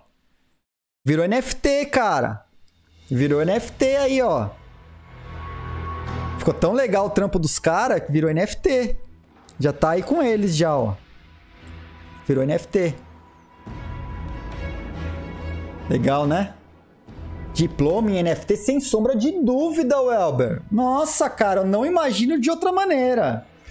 Eu não imagino de outra maneira. Diploma é NFT emitido na identidade digital do cara, meu amigo. Ah, mas a identidade do cara precisa ter identidade validada? Não, precisa de uma identidade digital. Eu não, não pra gente importa se se quem tá aprendendo e consumindo conteúdo é uma geladeira, é um robô, é um mino, uma mina, um, um mix, um alien. Pouco importa, cara. Precisa de uma identidade para consumir o conteúdo. Digital, óbvio. Por que uma identidade? Porque se a gente está falando em universidade, a gente está falando em aquisição, é, é, é, adquirir créditos por conteúdo consumido, para poder ter, né, sua formação feita. Então, e aí, créditos. Eu tava falando com uma universidade essa semana. Olha a dica que eu dou pros caras, né? Até falando pros caras. Os caras fazendo um monte de reunião comigo. Levantando um monte de coisas tal. E pediram pra eu fazer um projeto, né? Aí eu falei, pô, fazer um projetinho legal, posso fazer um projeto de um núcleo sem problema. Mas contrataçãozinha, né? Vamos, eu vou, quer que eu prepare o projeto, apresente o projeto e depois acontece como já aconteceu várias vezes, ah, então, Edson, não é isso que a gente ia fazer. Aí, né, literalmente pau na bunda do Ed e toca o projeto. Aconteceu várias vezes. Mas aí na conversa o cara falou: ah, não, fazer sistema de crédito por pontos, de recompensa tal. Eu falei: não, cara. Você quer chamar a atenção da galera? Crédito é NFT, meu. Porra, se o cara, se o cara conseguir os badges. Depois no final você computa os badges que o cara tem e entrega a certificação pro cara. Aí eles tudo anotando. É engraçado que eu falo as coisas não, não, cara, é óbvio que a gente não vai, não vai aproveitar a ideia assim você, a gente quer você junto tal. Mas tudo que você fala, os caras estão anotando. Você tá falando, os caras estão anotando na tua frente. Aconteceu essa semana, de novo. Acontece, cara, eu falo, acontece o tempo todo. E é, pô, puta situação chata. Você tá falando, o cara, o cara ah, é? Pô, oh, NFT no lugar de crédito. Pô, e, e anotando, cara. É óbvio que vão implementar na universidade deles lá o sistema por NFT. É óbvio sendo eu que vai implementar o outro. Já vai ser implementado agora, né? Porque eles queriam fazer um token para representar os pontos que o cara tem E é, não, não, cara, NFT. E, e, eu passo informação adiante, cara. Assim como eu faço aqui no, no, no Morning Crypto, eu falo. Né? Ideia, ideia, ideia tá aí. Mas eu acho, eu acho que é isso, é Silicon Valley é total espelho, espelho da realidade das startups. Total, total. Obviamente é uma caricatura. Quem estudou caricatura sabe que a caricatura você só extrapola a forma. Você extrapola os limites, extrapola o desenho, você extrapola uma caricatura, você extrapola. Mas é a, a realidade, a base é a realidade, cara. É, é, da, é, é o que acontece, real. Ó, aconteceu essa semana, aconteceu hoje e continua. Eu falar em frac, frac trade. Se você estiver falando do Bitburger de trade de alta frequência, sim. Se você estiver falando de alguma plataforma específica, eu não tenho ideia do que você está falando. É. Até porque não é muito nosso foco, né? Essa parte de trade de alta, fre alta frequência, bots, arbitragem, essas coisas aqui. Do bot Frac Trade e Open Source, não conheço. Não tenho ideia, não tenho ideia do que seja esse bot. Não. Tem vídeo de CEO em palestra dizendo que era praxe fazer isso. É. Cara, eu, eu comentei aqui no Morning Crypto, né? Que eu tava na mesa, é, num painel na FGV. Eu estava num painel na FGV. Tinha um membro lá de um. É, um ex-membro de um fundo que a gente tinha iniciado uma negociação. Pulei fora, não, né? Deixou pra lá. Cara falou com todas as letras, falou: o papel do VC é deixar o founder passando fome. Tem que dar o dinheiro para ele não se sentir confortável. Que se o founder tiver com dinheiro na mão e ficar confortável, ele, ele não faz as coisas aqui no Brasil. Oh, que vida, né, cara? Que é assim que faz. Eu olhei pra ele e falei, sério? Aí a minha vontade de levantar fundo, né? Pô, cara, é palhaçada. Ritemverse, bom dia pessoal, aqui é o Ritemban, melhor programa de criptos disparado. Ô Richard, se é tu mesmo, bem-vindo, meu caro. Obrigado, só as estrelas aqui hoje, hein? Quantas estrelas baixando aqui no Morning Crypto de hoje. Tamo junto, tamo junto. Tava falando do, do, do podcast agora há pouco, que teve coisa que saiu no podcast ontem que eu fui ap apresentar hoje aqui no, no Morning Crypto. Saiu primeiro no podcast e depois no Morning Crypto. Né? Teve notícia aí. E a gente está discutindo aqui sobre a nossa universidade aberta, a Universidade de Santiago Nakamoto, universidade aberta de acesso irrestrito a conteúdo de maneira incensurável. E a gente vai chegar lá. Essa universidade está sendo construída e você trouxe um insight poderoso de NFT. Pois é, pois é.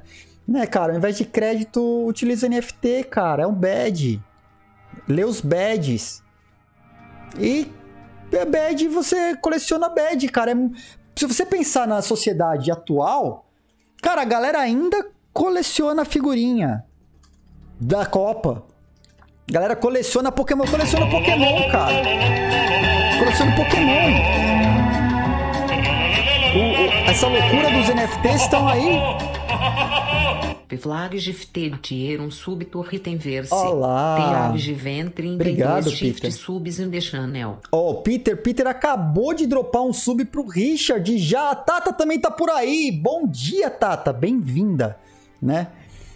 E então, ó, ó, ó, ó lá, ó lá, Richard. Com a sub, com a sub, você também já pode, vai poder participar do sorteio da Ledger. Com a sub você pode participar da DAO do Morning Crypto, porque precisa ser inscrito. Tá? Eu tava falando pra galera. É, quem tá aí com, com, a, com a sub vencida e quer participar da DAO, já atualiza. Deixa seu Amazon Prime aí, amigão. Né? Já deixa o Amazon Prime Seja aí, atualiza. Richard Rittenband e Tatia. Seja bem-vindo. Até eu ia abrir aqui as configurações aqui para mostrar um negócio, mas eu não vou conseguir mostrar agora. Eu falo, ó, coleciono. Cadê, cadê meus?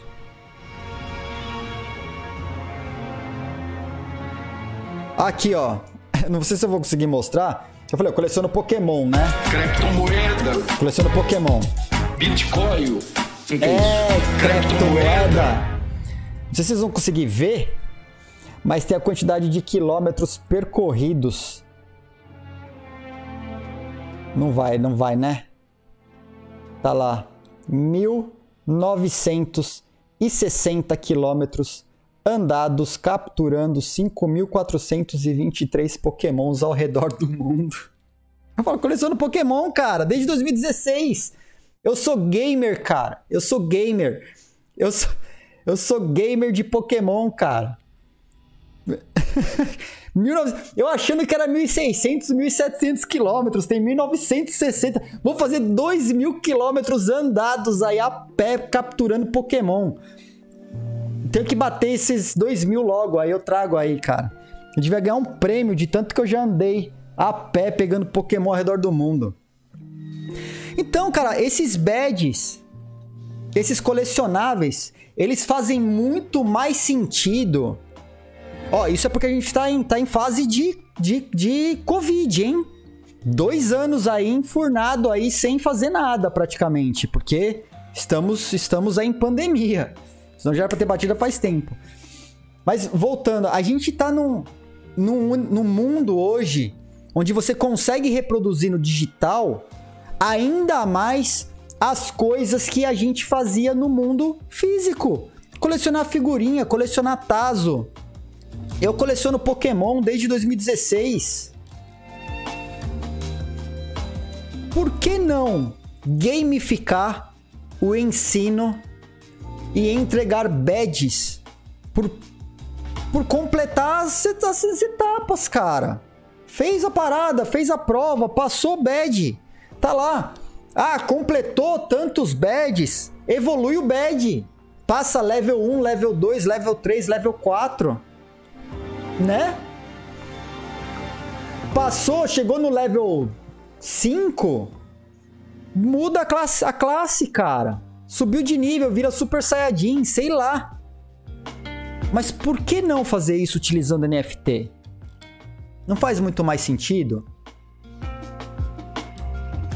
A, a única coisa, Porto, eu conheço a Khan, ela te, ela, te, ela te premia por posicionamento, né? Ela te dá umas posições lá. É que fica só com ela. E o que a gente pensa numa universidade aberta, descentralizada, incensurável, é que a pessoa possa carregar isso com ela para sempre. Independente da universidade. E é aí que o NFT faz todo sentido. Faz todo sentido. Né? Bom, vamos lá, vamos lá que tem, tem assunto ainda pra gente chegar. Já estamos com quanto tempo de live? Uma hora e meia de live. Ah, eu tenho reunião daqui a pouco. Eu ia falar aqui só. Cadê, cadê? Então, an antes, vou, vou, eu vou, vou, dar um pulo direto pra Shiba, tá? Tem um conteúdo aqui que a gente vai dar uma meia hora, né? Não, não, assim, foram o primeiro, foram três blocos de meia hora. Estamos completando o terceiro bloco de meia hora. Porque o programa tem só 30 minutos, vocês sabem. Todos os dias o Morning Crypto tem só 30 minutos. A gente tá completando agora o terceiro bloco de 30 minutos, né? Então, de acordo com um relatório feito pela Mastercard,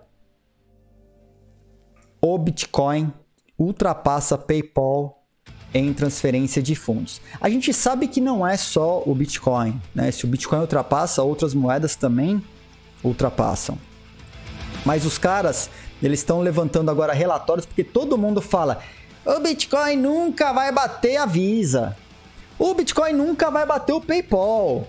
O Bitcoin tem que ter capacidade transacional acima da velocidade da luz para fazer 30 mil transações por milissegundo. Não é o que a gente escuta o tempo todo? Quando fala do Bitcoin? Bitcoin nunca vai ser aceito. por todo é, pelo mercado porque não escala. Ah, esse é um relatório dos caras dizendo que o que o Bitcoin ultrapassa e vai ultrapassar mais ainda algumas instituições aí, ó. Olha só. Master, olha só esse gráfico. Olha como esse gráfico é interessante pra gente. Presta atenção. Olha essas projeções. Link. Tá na mão o link no chat agora, Andrew. Lembrando quem tá ouvindo a gente, esses links todos estarão disponíveis na descrição do vídeo, tanto aqui na Twitch quanto no YouTube, assim que eles forem pro YouTube, tá? Pro YouTube é pros atrasados, né? Desculpa aí a galera do YouTube, mas dá sub, tá? Não deixa de, de, se inscrever no canal e clicar na sineta, dar um tapa na sineta, que aí me ajuda bastante também, tá? Mas, é, quem tá no YouTube aí vê depois, né? Porque o vídeo vai pro YouTube com atraso. Quem, quem é inscrito na Twitch pode assistir quantas vezes quiser no dia, pode ver com atraso, pode ver o que for, né? Mas pro YouTube vai depois. É, então, olha só esse, esse gráfico. Esse amarelinho, laranjinha, é o Bitcoin. O azul é o PayPal. Vermelho e azul, Visa. Olha a projeção dos caras. Olha as projeções dos caras. Bitcão bateu o PayPal. Olha isso. PayPal já ficou para trás nessa corrida, meus amigos. Quando ele falar de ah, comparar com PayPal, PayPal já era. Não compara. PayPal já PayPal é passado. Né? PayPal é passado. Não vamos falar de PayPal. Eita, que eu OK. PayPal é passado. Qual a próxima meta agora? Precisa aumentar 260% e 540%.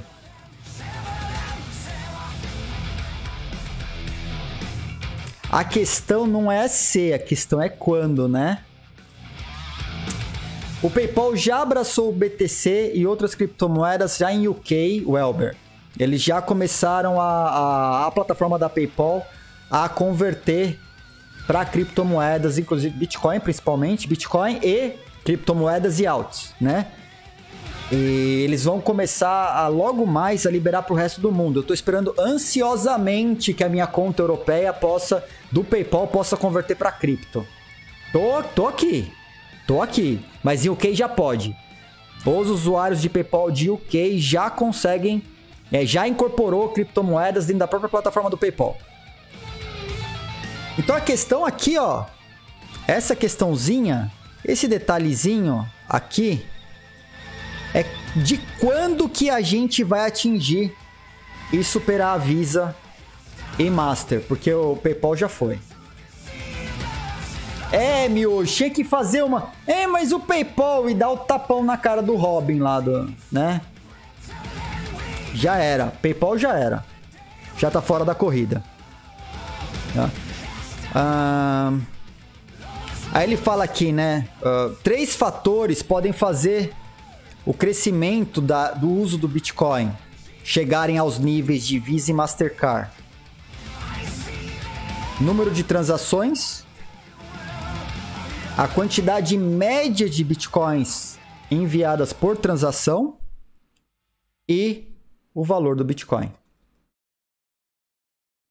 Né? E o valor do Bitcoin. Então, é isso aí. Estamos, estamos até um caminho bom aqui, né? Tem um caminho, tem uma caminhada boa, mas a jornada vocês viram que vão ficando para trás. Vão ficando para trás. Quantos eu já falei aqui no Morning Crypto que quem tem que se preocupar com CBDC e agora, principalmente as criptomoedas, são os meios de pagamento. Cara, pra que PayPal se você pode ter em cripto? É, Twitch. Twitch paga no PayPal. Paciência. Mas deixa o PayPal. Deixa o PayPal passar a aceitar cripto. Você vê que minha conta no PayPal não vai ser convertida imediatamente. Né? É, vai ver só. É já já. Até já tô esperando aqui. Tô esperando, tá? Deixa eu só ver aqui. Ah, então vamos lá para as nossas memecões prediletas. Até por, até por conta disso, antes, antes de falar de Shiba, antes de eu falar de Shiba, eu vou abrir as apostas. Já vou deixar as apostas em Shiba para a próxima segunda-feira.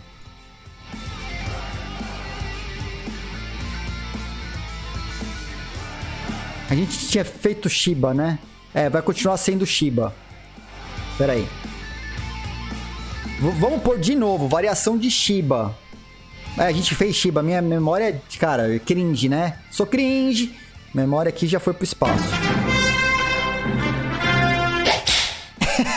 pois é. Pois é. Acharam, né? Acharam aí. Vocês pediram. Isso. Pra quem não sabe, tá escutando a live agora. Foi Nadal que foi pedida a criação de um chicote para quando se falasse de Shiba. Foi a DAO que definiu. Foi a comunidade que definiu. E aí, ó lá, a comunidade pediu, votou, aprovou, tá aí para vocês. Chibatada. Chibatada, tá? Então tá aberto aí já. As apostas tá no chat. Então apostas aí em Shiba pra segunda-feira. Segunda-feira, episódio 129. Que hoje o episódio tem só 128 bits. Teremos o episódio 129 na segunda. E lembrando que no episódio 130, 10 mil sats de sorteio. 10 mil sats de sorteio. Tá? Então, olha só. A Shiba. A Shiba. Tá meio que maltratando os, os chibosos. Né? A Shiba tá maltratando os chibosos, estão todos tristes.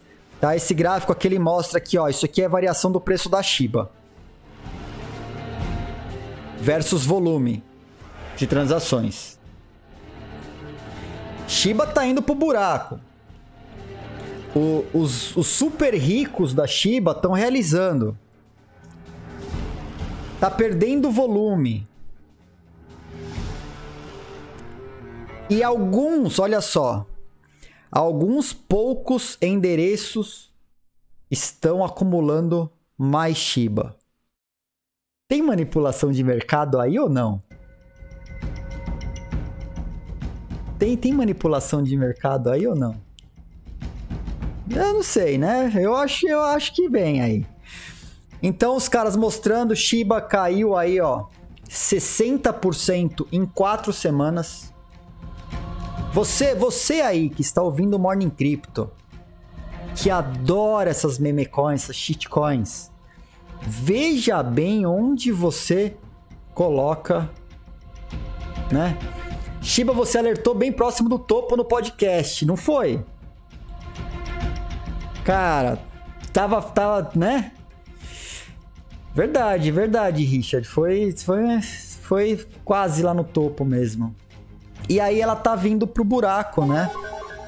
É o que Bab acontece. Fazendo o seu papel. é, né? Shitcoin fazendo seu papel aí. É, alertando a concentração das carteiras e a dinâmica clássica de pump e dump. E a partir de lá a galera começou a, a, a realizar, né? A galera ficou muito rica muito rapidamente. E.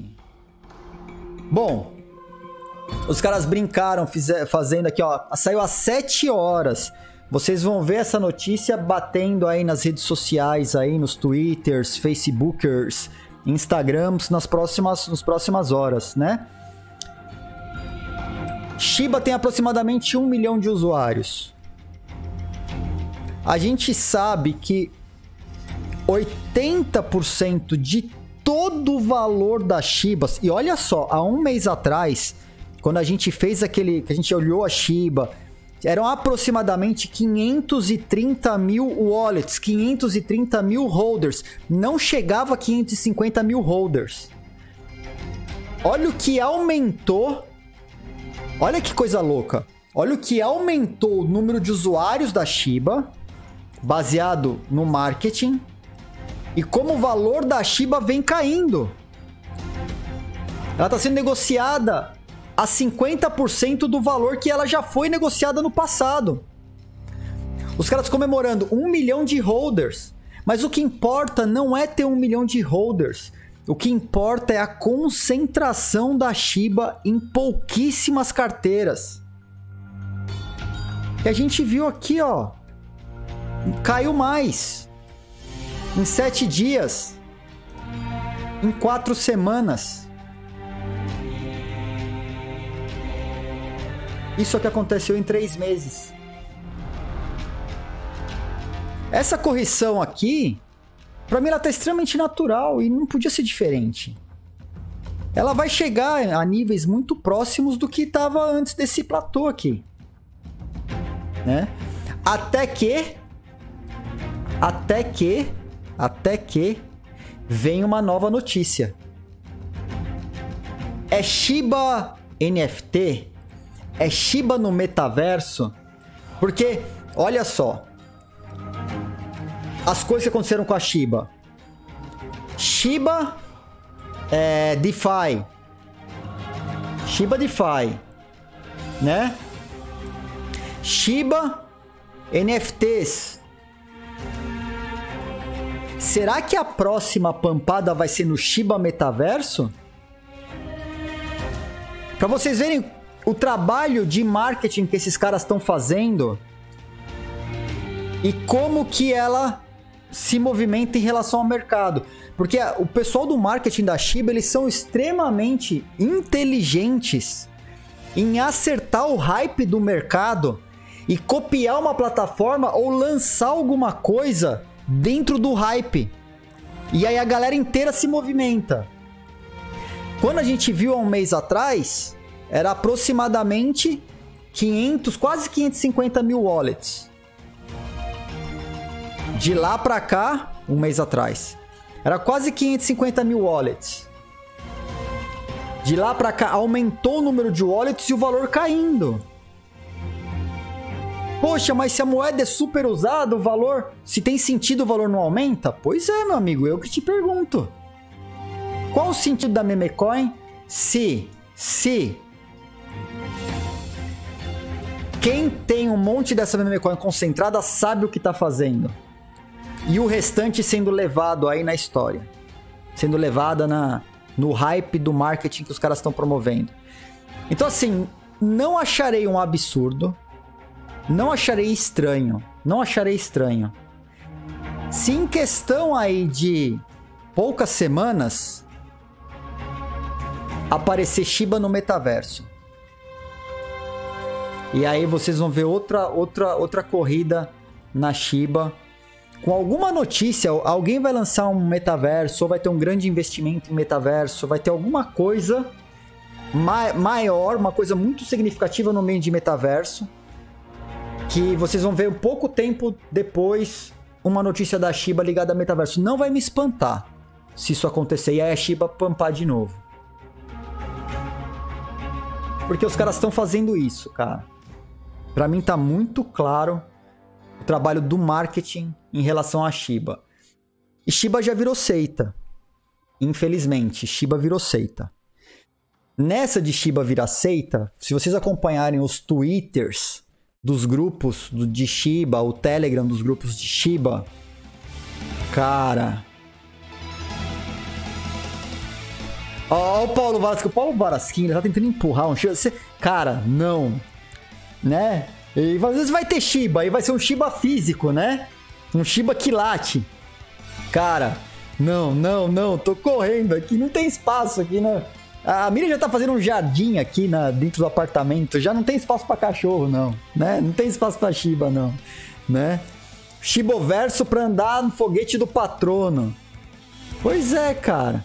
Ó, sobre Shiba e o Shiba indo pro, pro, pro espaço, Falamos aqui esses dias, cara. Teve uma discussão. não foi uma discussão. Não foi uma discussão. Só pontuei, né? Que assisti um programa lá do Gaulês e tava ele, o velho Vamp, falando que Shiba ia pro espaço no foguete do. do Elon Musk. Primeiro que não é, não é Shiba, é a Doge. Primeiro que não, né, ele vai ficar orbitando num satélitezinho que a gente viu lá num CubeSat orbitando, co- coletando informações. Não é o Doge em si, mas é um satélite que está sendo patrocinado pela Fundação Doge para mandar o tal do satélite pro ar lá e tá falando que é tudo Doge. E. Cara, olha como os caras se aproveitam de uma informação falsa e como isso se espalha no mercado. Não é Shiba, não é Shiba que tá indo pro espaço, mas para um cara que estava com 75 mil viewers naquele exato momento, eles falando sobre criptomoedas e manda uma dessa. É, você viu, cara? É, eu, eu, eu- eu- Quando o cara vem falar comigo, eu falo, não, compra, mas você sabe, né? Tem que comprar pouquinho tal. É, viu, o cara comprou lá 8 mil dólares, o cara ficou bilionário, não sei o quê. Aí os caras falam essas coisas para um público para um público que não conhece, não sabe do que se trata. 75 mil pessoas? Meu amigo, pode fazer um estrago na vida financeira dessa molecada, desse povo que assiste o cara, por uma informação inconsequente passada numa live, cara. Hip. É F total. E não era nem Shiba, era Doge. Né? Então é, é- bom, é o nosso mercado. É, cara, é uma falta de responsabilidade enorme mesmo. Como a Miriam colocou no chat, é uma falta de responsabilidade monstruosa. E é, falar mesmo, né? Tem que, tem que mostrar, não é só falar, tem que mostrar. Mostrar o que os caras fizeram. E que sim, não vou me espantar se em pouco tempo, como o hype agora é metaverso, sai Shiba no metaverso para dar aquela pampada de novo. Sendo que aquelas aquelas baleias de Shiba estão acumulando mais Shiba. As baleias de Shiba estão acumulando mais Shiba. Vamos ver, cara. Assim, eu não, não me convence, não me convence. Não, não faz sentido, sabe? Não faz sentido isso. Não faz sentido. Outra coisa que eu não tinha ideia, isso aqui eu descobri agora. Eu vi umas pessoas falando que X Infinities era metaverso. Né? E eu assim, mas, por que raios X Infinity é metaverso, cara? Eu tinha parado de olhar pra X e vendo Exit meta, é, Exit, não, X Infinity metaverso, X Infinity metaverso, tal. E eu vi agora. Os caras estão implementando na plataforma da X venda de terras, venda de terrenos. É um virtual real estate. Para encaixar isso no termo do momento do hype, X Infinity virou metaverso, cara. Eu não acredito. A galera não para, mano. A galera não para. Então, você tem o joguinho do X. Você pode comprar terreninhos lá e fazer suas plantações, as coisas que estão lançando mais coisas onde você utiliza os X's, né? E olha lá, o, game se passa na terra de Lunácia. É, na terra de Lunácia, né? Habitado pelos X's. E o boteco daqui do bairro lançou metaverso também. Eu escutei de um cara esses dias, falar, não, cara, você sabe. O cara, o cara virou pra mim e falou: Não, você sabe, né? A, a é, metaverso é tudo onde usa realidade, esse óculos de, de realidade virtual. E como a gente já faz coisa de realidade virtual, a gente faz metaverso também. Eu tava, cara, escutei isso na reunião essa semana. Essa semana também, ou semana desgraçada, né? Essa semana também. Aí eu virei assim e falei, é, não, cara. Metaverso não é só você, você ter realidade virtual, cara. Tipo, por favor, não. Não, cara. Não, mano. Cara, metaverso é uma coisa que extrapola os limites. Assim, vamos lembrar do primeiro. Primeiro que metaverso não precisa do óculos de realidade. De realidade virtual. Começa por aí. Enquanto a gente viu, inclusive, artigos dizendo que metaverso. Que, porque é a narrativa que vai ser empurrada pelo Facebook, hein? Se preparem. Metaverso ele só acontece se for dentro do óculos de realidade virtual. Não é. Metaverso é, uma, é um simulador de vida real. Por isso que ele é um metaverso. É um simulador de vida real. Se ele é um simulador de vida real, o que, que você faz dentro de um metaverso? Você tem seu terreno, você constrói, você compra, você vende, você produz, você contrata, você contrata gente para trabalhar para você. As pessoas produzem, criam, geram valor.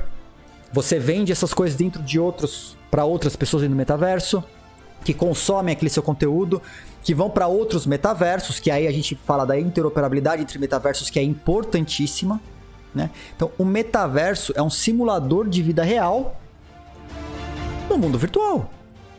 Precisa de óculos para isso? Não precisa de óculos para isso, né? O que, o, o que não me cabe na cabeça são as instituições construindo metaversos que não se comunicam entre si. Aí qual sentido? Aí o sentido é só um jogo de fazendinha. Não é? É jogo de fazendinha. Cara, a galera se prepara. A galera vai começar a empurrar o conceito de jogo de fazendinha chamando de metaverso, que é o que o X Infinity tá fazendo, cara. É jogo de fazendinha. Com NFT, é, é, tem NFT, você compra seu espacinho lá e você vai produzir dentro do espaço que você com, comprou, que é seu. Mas se não houver interoperabilidade, a possibilidade de você fazer uma simulação de vida real não é metaverso. Não faz sentido chamar de metaverso. E os caras estão empurrando isso. E vai virar, cara. Jogo de fazendinha virando metaverso. Aí X Infinity virou metaverso e quando eu vou ver, eu vou olhar o que raios é o metaverso do X Infinity. A não ser que isso cresça, onde te permita construir, alugar, vender, amplie muito. Porque até esse momento que estão apresentando é, é, é, é uma fazendinha, cara. Posso estar muito errado. Pode ser que cresça muito no futuro, que. Mas olha. E já estão vendendo caro, tá? Os slots lá na Terra, no Gênesis, que eles chamam lá nessa Terra, né? Na, na Terra lá dos Exes, estão vendendo caro, cara. Vamos ver aqui, ó.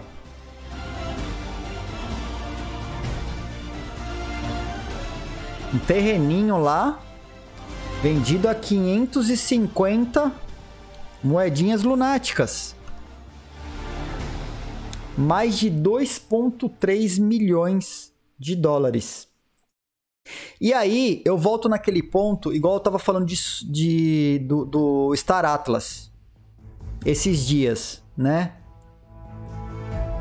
São jogos, são jogos que um, um ser humano comum um ser humaninho, a plebe, não participa mais. Os caras estão tentando repaginar só para manter na hype daquele clube super elitizado. Porque se muitas vezes para você começar a jogar o tal do joguinho, você precisa fazer um investimento inicial que vai na casa de mil a dez mil dólares, Olha o que os caras fazem aí dentro da hype do negócio, só consegue participar quem já tem os 550 Ether, cara. Os dinheirinhos da terra dos lunáticos. Para poder gastar 2.3 milhões em um plotzinho lá para fazer a brincadeira. Não é o conceito que eu tenho de jogos de difusão de jogos ou mesmo difusão de tecnologia, tornar ela acessível. Ela pode ser bonitinha, pode ser fácil de usar, mas acessível? A gente pode falar que é acessível? Acessível não é. Eu já, já acompanhei muito jogo de X, viu, André? Já que nunca joguei. Nunca joguei, mas já acompanhei. A gente fez uma, um game em cripto. Né? É, a gente fez um, um, um game em cripto. Onde eu fui na tentativa, falei assim, vamos fazer um X Infinities aqui, vamos, vamos comprar os, os X's e vamos entrar nos X agora. Ô, oh, quero, vou fazer um game em cripto. André, manda, eu vou fazer um game em cripto pra acessar e testar. Eu faço game em cripto. Tô dentro. Faço e faço na live, no game em cripto. Então, o que eu fiz da outra vez? Botei o game em cripto no ar. Falei, vai ser X Infinity. Entramos e começamos a procurar por X's para poder começar o jogo. Porra, cara, F total, cara. X barato, badaras, mas é aquele X que vai sofrer bullying o tempo todo na hora dos, dos, dos combates lá. Era 100 dólares, o mais barato, ou 300 dólares, o mais barato. Era alguma coisa 300 ou 400 dólares no X mais badaras. Só pra você falar que tem um. E é um X tão vagabundes que se fosse colocar ele naquele combate lá né, pra, pra ficar farmando os SLP, cara, o X não ia te ajudar em nada, porque o oh, que, que, que X zoado, cara. E a galera vendendo por 300, 400 doll, cara. Aí imagina eu. Eu nunca tinha mexido com X Infinity. 666. 666, né? Opa, seis meses! Tamo junto, Porto. Obrigado pelos seis meses. Obrigado pelos seis meses. Então, abro a live. Abro a live. Vamos para os X Infinities. Vou para os X Infinities. Fui seco. Seco. Nunca passei tanta vergonha. A gente terminou jogando outras paradas, porque os X Infinities foi totalmente badaras. Aí a gente foi lá, então vamos olhar os cavalos. O, o Zed Run. Puta, outra bica para poder comprar os cavalos decente para começar a jogar. Aí, meu amigo, olhei lá, falei, ah, quer saber? Gaming Crypto vai. Aí a gente foi jogar um outro lá. É, de NFT também. Mas não. E aí voltei pro Valorant, fiquei jogando Valorant e não teve mais Gaming Crypto. Né? A Elite compra os X's bons e faz escolinhas, colocando a Prairie pra trabalhar e dividir os lucros. É então, isso que o pessoal faz. A galera tá montando os Academies.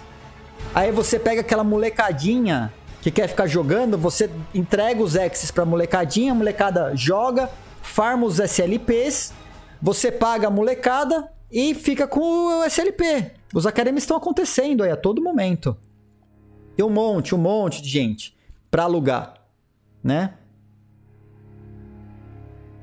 CryptoBomb, olha lá, outra, né? Entrei no CryptoBomb no pré-lançamento para jogar.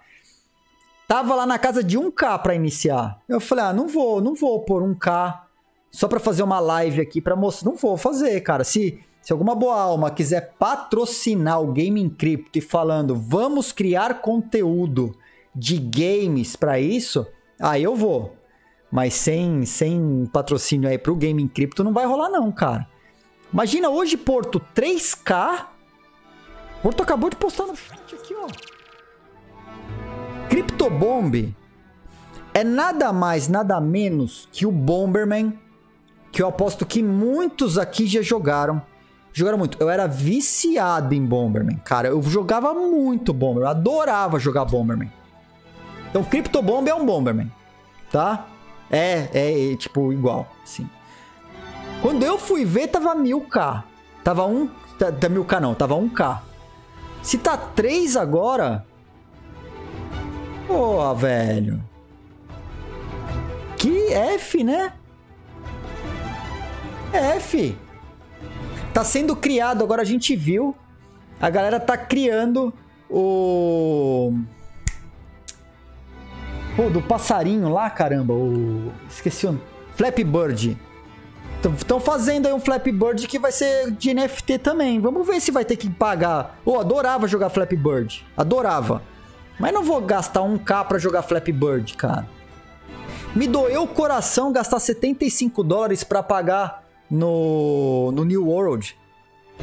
Gastei 75k, cara. Eu, eu, tô, eu tô desde do, do, do, beta fechado no, no New World.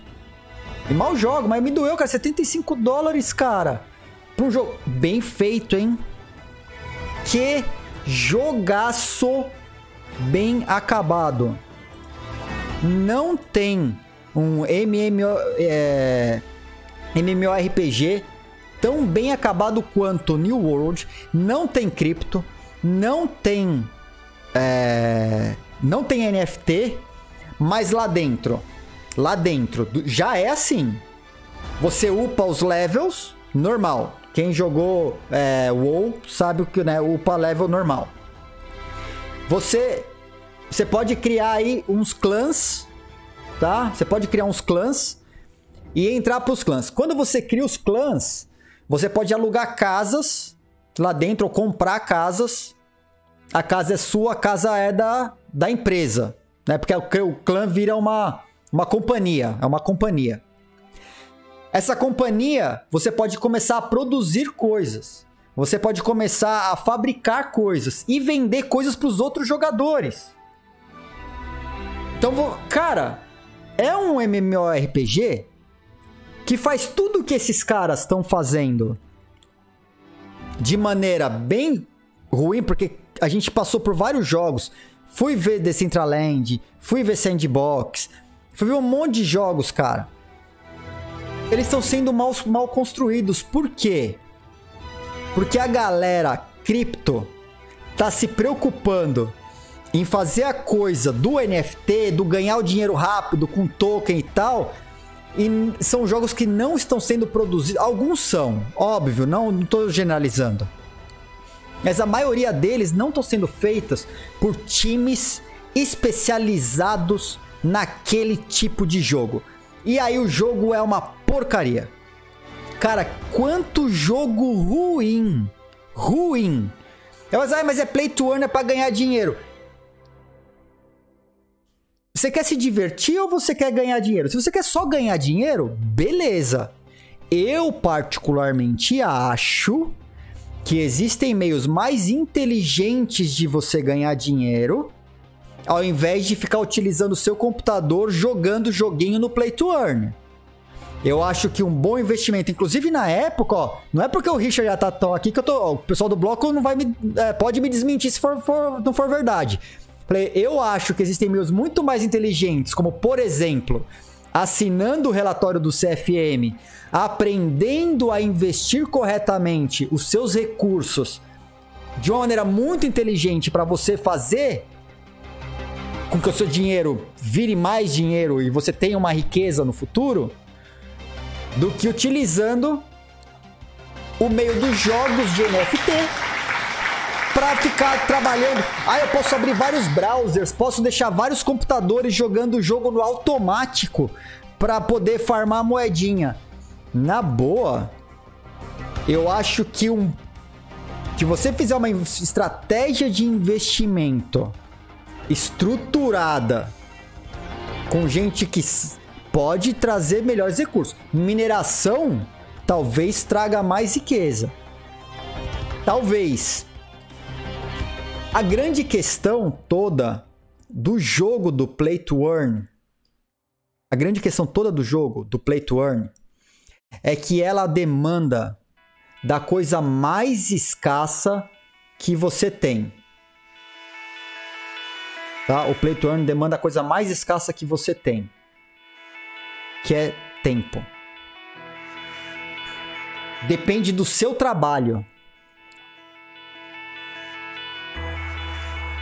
E eu acho que existem maneiras mais, mais inteligentes de você gerar riqueza do que você gastar tempo nos jogos. Mesmo que você contrate, eu, eu acho.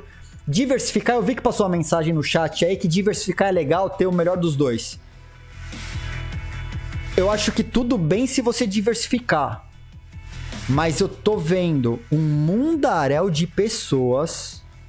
Um mundaréu de pessoas entrando de cabeça no play to earn, acreditando que é isso o que vai dar o dinheiro e apostando no grande cassinão cripto de que é aquele token ou aquele jogo que vai para frente. Tá? Então a galera da Convex aí, que hoje, né, super representados aqui pelos principais, pelos principais nomes da Convex, a Tata Satter e o Richard Rittenban. Então aqui, se não tiverem no chat agora, estavam até agora há pouco, tá? Dá uma procurada aí na Convex Research. Além de sermos parceiros, é, não é pela parceria, a parceria aconteceu pelo fato de fazerem um trabalho muito, muito bacana, tá? É, o trabalho que eles fazem realmente é muito interessante e muito pé no chão, tá? Muito pé no chão. Não tem essas loucuras, não, de relatório que, olha, essa é a cripto que vai te deixar rico, que vai ultrapassar o Bitcoin. Tem nada disso. Você não vai encontrar nada, você não vai encontrar nenhum deles falando esse tipo de barbárie. Da mesma forma que tivemos o fenômeno da gamificação, teremos o fenômeno da metaversificação. Pois é, né? Chegaremos. Chegaremos lá. Chegaremos lá. Bom, pessoal, ó. Caminhando então para a última parte do nosso programa. Tô preparando a última parte do nosso programa aqui. A gente vai ter agora o nosso o no, nossa watch party né? É um programa desse tem 45 minutos, 45 minutos do, do programa da, do podcast Coins, que vai falar sobre governos e regulação. Ao final, sorteio de Bitcoin aqui no Morning Crypto para fechar nossa sexta-feira, tá? Então, cortando o nosso som, iniciando o nosso vídeo. Vamos junto. Host, Patrick McLean, and all by a panel of experts. My name is Bruce Fenton, sitting here today with Eric Voorhees, here today with Alex Mashinsky. My name is Nelson Demers. Happy to be here with Dave Jevons. Mark, how you doing today? I get to sit here today with Charles Hodgkinson, here today with Roger Ver. I'm Sheila Warren. And on this episode, we'll discuss how crypto's massive growth and global scale are forcing governments to react in competitive and sometimes short-sighted ways. Adorei o nick do, do Richard Rittenverse, cara. O Rittenverse veio pro Blocoversa. And the publicity surrounding it hurt the reputation of cryptocurrency. Hoje é dia de sauna, dia de sauna. But that fame proved itself to be yet again a double-edged sword. The fact is, the 2017 crypto bubble made Bitcoin a household name and it helped bring other lesser-known cryptocurrency innovations into the spotlight. Terms such as blockchain, white paper, smart contracts, ICO, and many more were now inscribed on the tongues and into the brains of many investors in the world of finance. As Bitcoin and the other cryptocurrencies began to dig themselves out of the holes left in the aftermath of the meteoric retrace, it appeared the idea of cryptocurrency as a way for people Valeu, to do business directly with each other might be here to stay. But of course, things are never that easy. Somehow, some way, greed and power always make their way to the surface. O cara da sunga já vai chegar, miojo. Financial institutions a cara da sunga tá aí, ele vai estar tá aí, cara. Rock Robin Hoods orchestrate a new monetary paradigm that keeps them from taking a piece of the pie. But that doesn't mean they were turning away from cryptocurrencies. It was quite the opposite, as with any good entrepreneurial idea. They were trying to figure out a way to exploit and profit from it. Whispers of big name financial institutions and national governments dipping their toes into the crypto waters began to spread. But some of those eager to wade in deep hadn't exactly proven themselves trustworthy in the past. Things are getting interesting. This newfound attention from governments and banks left many in the cryptosphere to wonder will the people be able to retain control over the inevitable adoption of Bitcoin and other cryptocurrencies as the new financial paradigm? Or will they be forced yet again to bend a knee before those powerful entities seeking to pervert and then crush the good intentions that drove the creation of Bitcoin from the start. There's like a phrase in, and I hear it a lot in, in the cryptocurrency community. I think I've heard you say it. First they ignore you, then they laugh at you, then they fight you, then you win. Yeah. First off, who's they, and where on that schedule are we? Yeah, um, we're past the we're past the laughing stage. Um, I think we haven't yet gotten to the fighting stage. So we're some Presta atenção no que, no que o Voorhees acabou de falar. Né? Primeiro rinde você, depois lutam contra você. Cara, ele acha que a gente acabou de passar a fase da risada. Isso pra gente tá claro. Eles não estão mais rindo. Quem olha pro Bitcoin e dá risada do Bitcoin, aí você olha pra cara dele de volta e fala, ah, É tu, tu que tá desinformado aí, né? Ou, né? De onde você tá tirando sua informação? Olha lá. Ele acha que não chegou na fase da luta ainda. Se não é, se a fase da luta não chegou, minha nossa. minha nossa. Somewhere between those two. Um, certainly, no one is ignoring Bitcoin anymore. You know, everyone has heard of it at this point. That was not true when I got involved. No one had heard of it. Um, it was ignored, and those who had heard of it thought it was a joke or a scam or a Ponzi scheme. And that persisted for, for many years. But at this point, it has proven itself over more than a decade. It has been, you know, the best performing investment of all time in all of human history over an extended period of time. The fighting stage is going to be pretty scary because I think as governments realize that Bitcoin is actually an existential threat to fiat currency, they will come down very hard on it, or they will want to at least. Um, Bitcoin will ultimately destroy fiat currency entirely. And that means that governments will lose their ability to debase currency and steal from the populace. They're not Olha o que esse cara tá falando. It means that governments will have to shrink down to the size of only taxing and borrowing instead of taxing, borrowing, and debasing money. I worry about the reaction the governments will have to this as they understand that existential threat. So far, they haven't because they don't think that their, their mighty dollar, for example, will ever be trumped by a digital currency uh, called Bitcoin, but it will. So we will watch that happen, and I just hope that enough people learn about the importance of Bitcoin uh, early enough so that it becomes very hard, very difficult for governments to actually, um, you know, aggress against it in a significant way. Só fazer um parênteses aqui. Eu acho que os concordo com ele plenamente nesse sentido, onde ele fala que os governos, a luta ainda não começou, porque os, os governos não se deram conta na totalidade de que o Bitcoin pode acabar com o sistema financeiro como ele é, né? A moeda, essa moeda estatal, essa possibilidade deles ficarem emitindo trilhões e trilhões e trilhões e trilhões de dólares, não só o dólar, mas outras também, né? Eu acho que a gente vai ter um problema sério com a criminalização do uso de criptomoedas em um momento em que os países conseguirem se coordenar para agirem em conjunto em prol de uma regulação para eles. Quando as CBDCs estiverem estabelecidas, porque o inimigo agora é stablecoin, não é o Bitcoin. O inimigo é stablecoin. A gente já falou aqui. As CBDC sendo lançadas e os países se sentindo confortáveis com a sua CBDC, eu acho que é nesse momento que eles vão achar uma maneira de tentar minar a existência do Bitcoin como um todo. É, por isso que nesse ponto, nesse ponto eu concordo com ele. Por enquanto, são. Né, José, é, bane a mineração num lugar, bane a, a exchange e tal. Por que, que a China fez isso?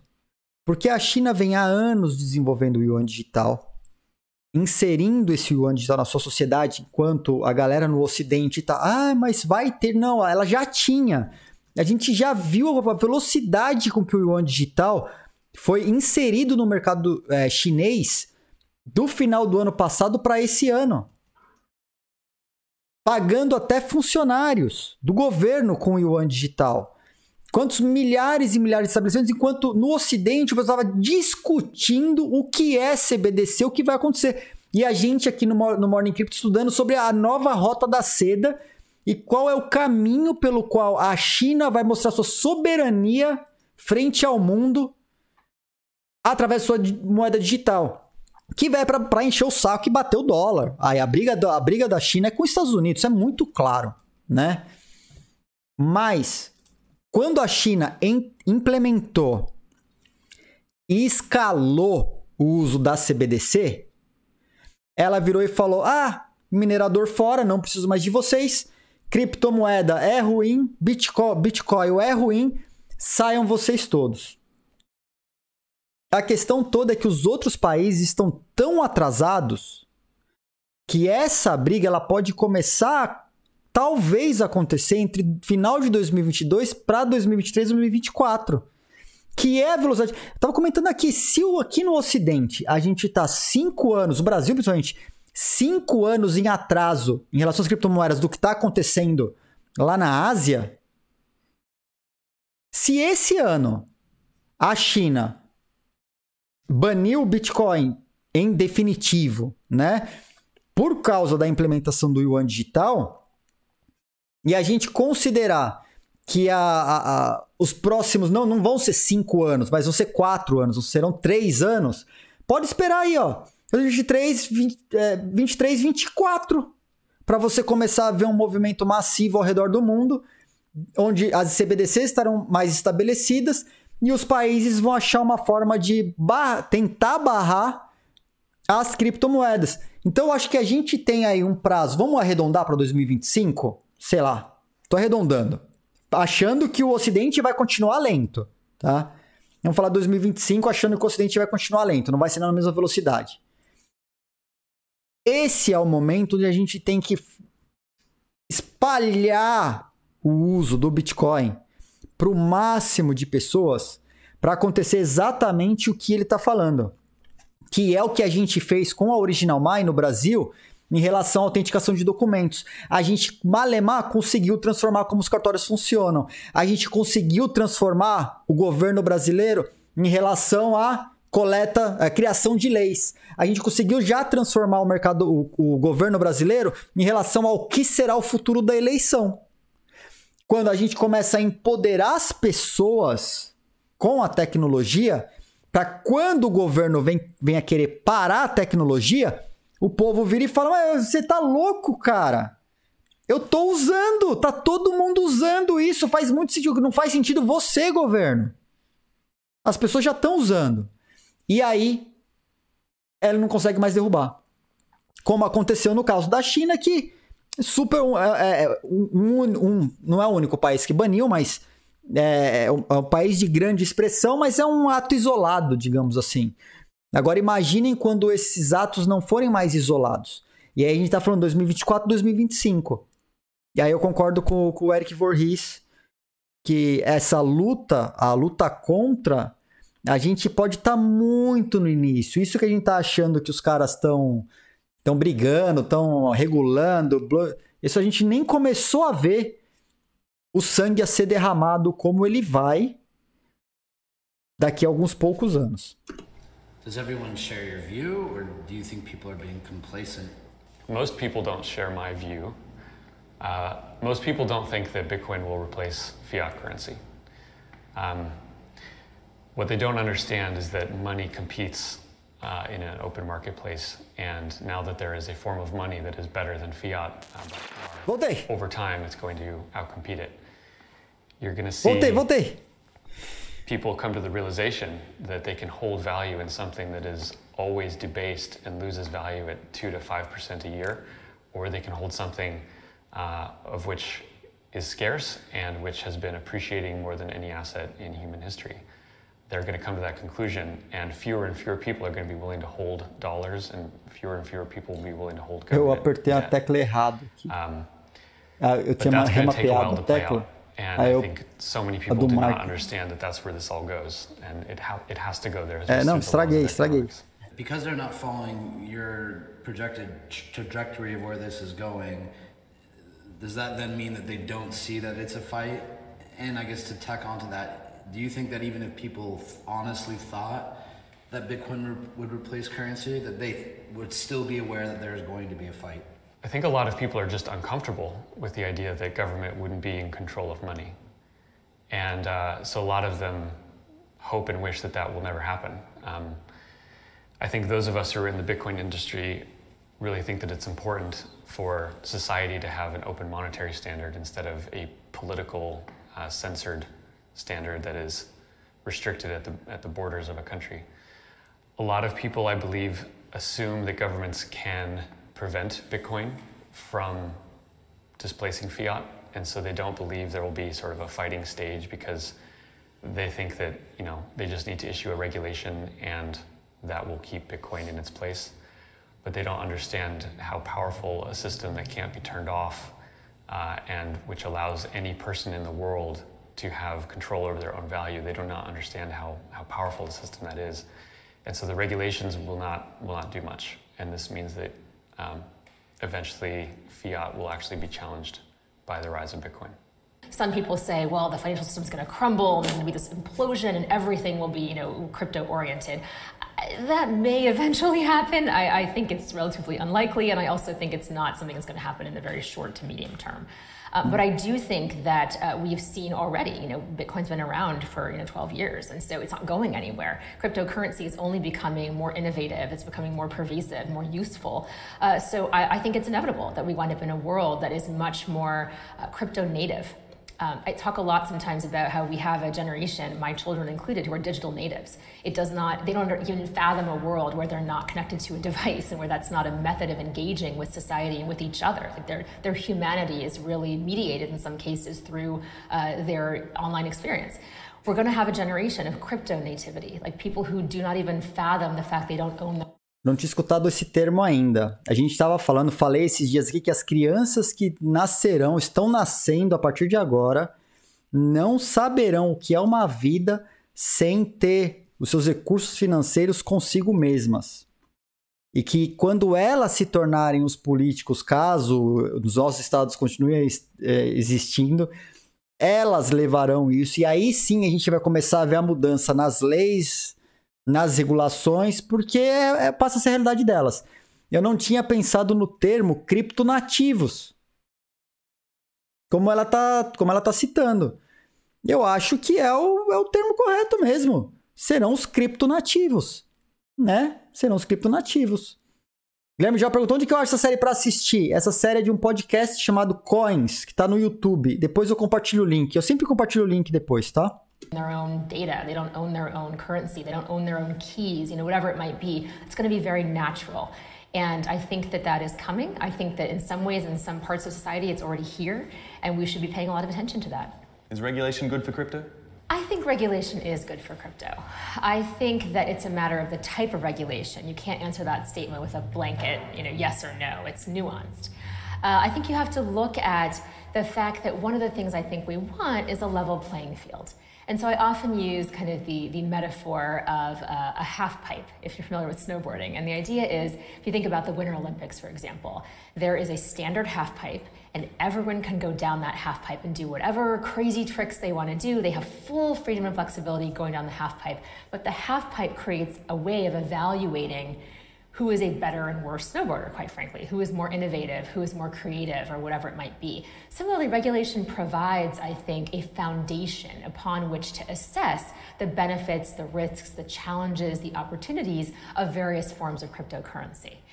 Now, that being said, I think there's some places where regulation can actually stifle innovation in ways that are challenging and problematic.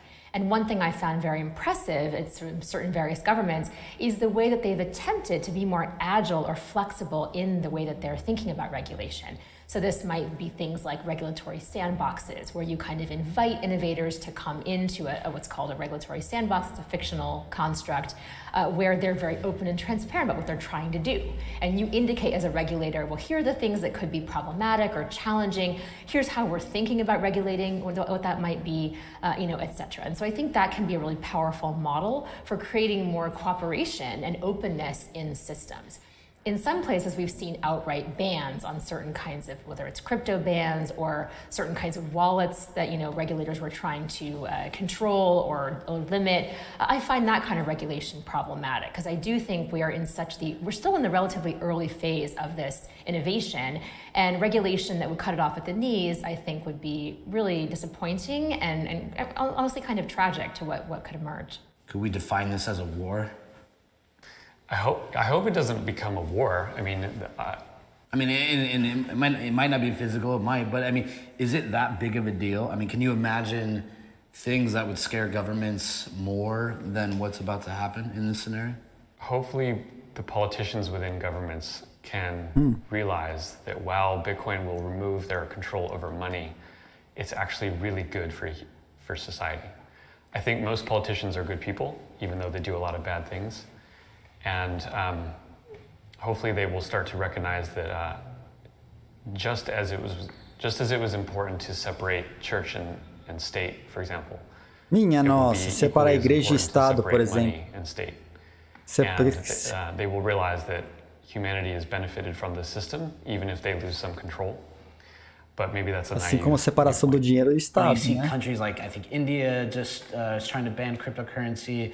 China has played with their position from the beginning. Uh, the U- U.S., I think, uh, through SEC, yep. as well as uh, Janet Yellen is the new, I think, uh, Treasury Secretary. Yep. Yep. Uh, she released a statement, I think, day or two after she was nominated, saying that it's primarily used for illicit activities, which I think might make sense if you look back at like 2010 during the Silk Road. So, what strategies do you see them employing, and do they make sense? Is there any validity to them? And can you find any other parallels in technology in the, in the recent past that, that might show us that it's, that it's accurate or not? The people who have the most to lose will say the most crazy things to try to stop the innovation. And to your point, that's not new. That's been going on for, for decades, centuries actually. And you know, I think it's interesting. Um, Janet Yellen nominated as, as Treasury Secretary, and to your point, her second day, uh, she's talking about Bitcoin. And you're like, okay, Shakespeare was right. The lady doth protest too much, methinks. No one asked you, Janet, what you thought of Bitcoin, and you felt compelled to talk about it on your second day. And you think about it, the better something is, right? The, the more innovative it is, the more likely it is to succeed, the more harsh your rhetoric against it has to be. When people have power, they don't tend to want to give it up.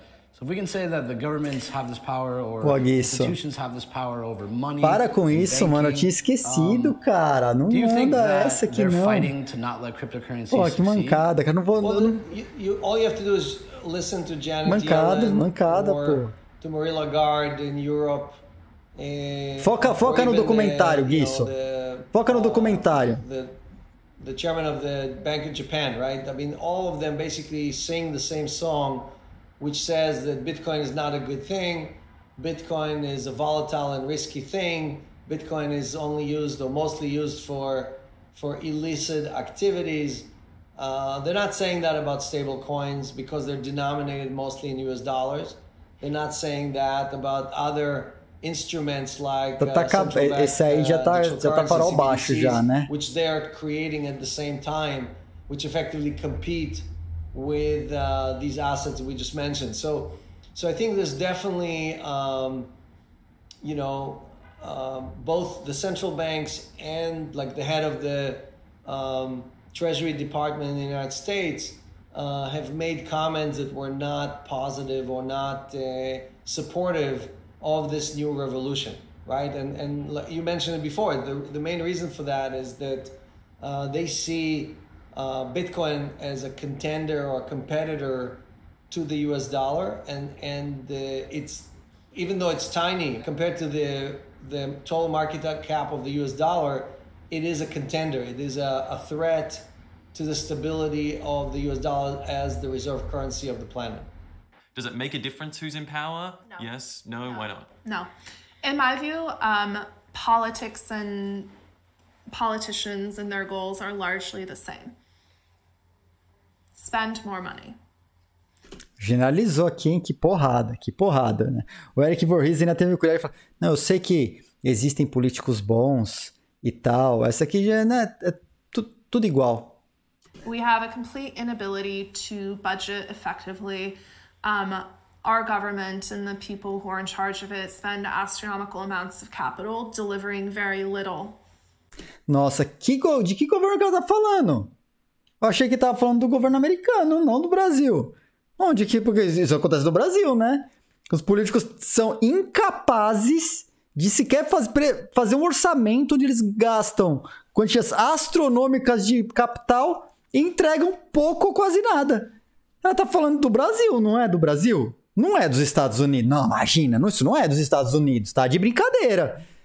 Tá zoando. Não é possível. Não é possível. Outro vem falar de separação entre Estado e religião. Tá falando, tá falando do Brasil, cara. Não tá falando do, dos Estados Unidos. Que isso, cara? Não pode ser, não pode ser, cara.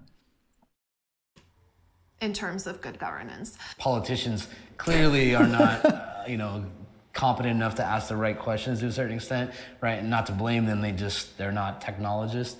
Uh, do you see any kind of parallels there where they're scared of the unknown? Yeah, absolutely. I think they're scared of the unknown. I think when you look at some of the crypto things that are going on as well, they're scared of that a big way.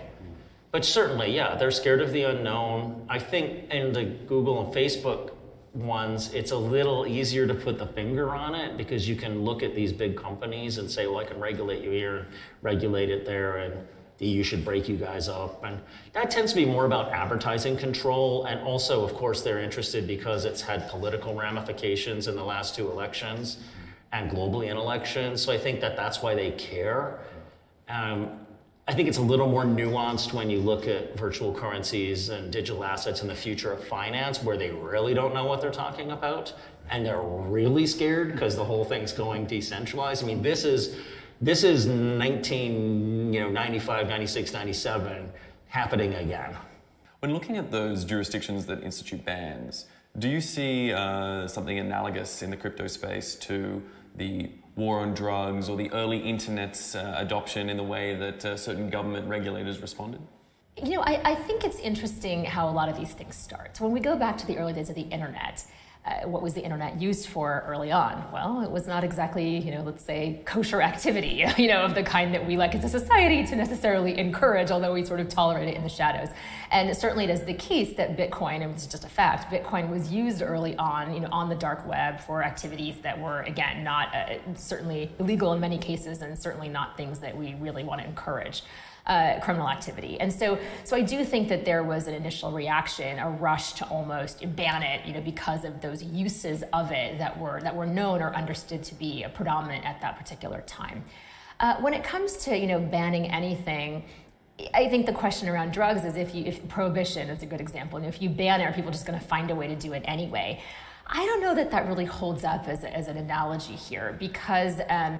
Ela está falando que não cabe a analogia Mas a gente passou por isso nos anos 90 com o banimento da exportação de criptografia pelos Estados Unidos.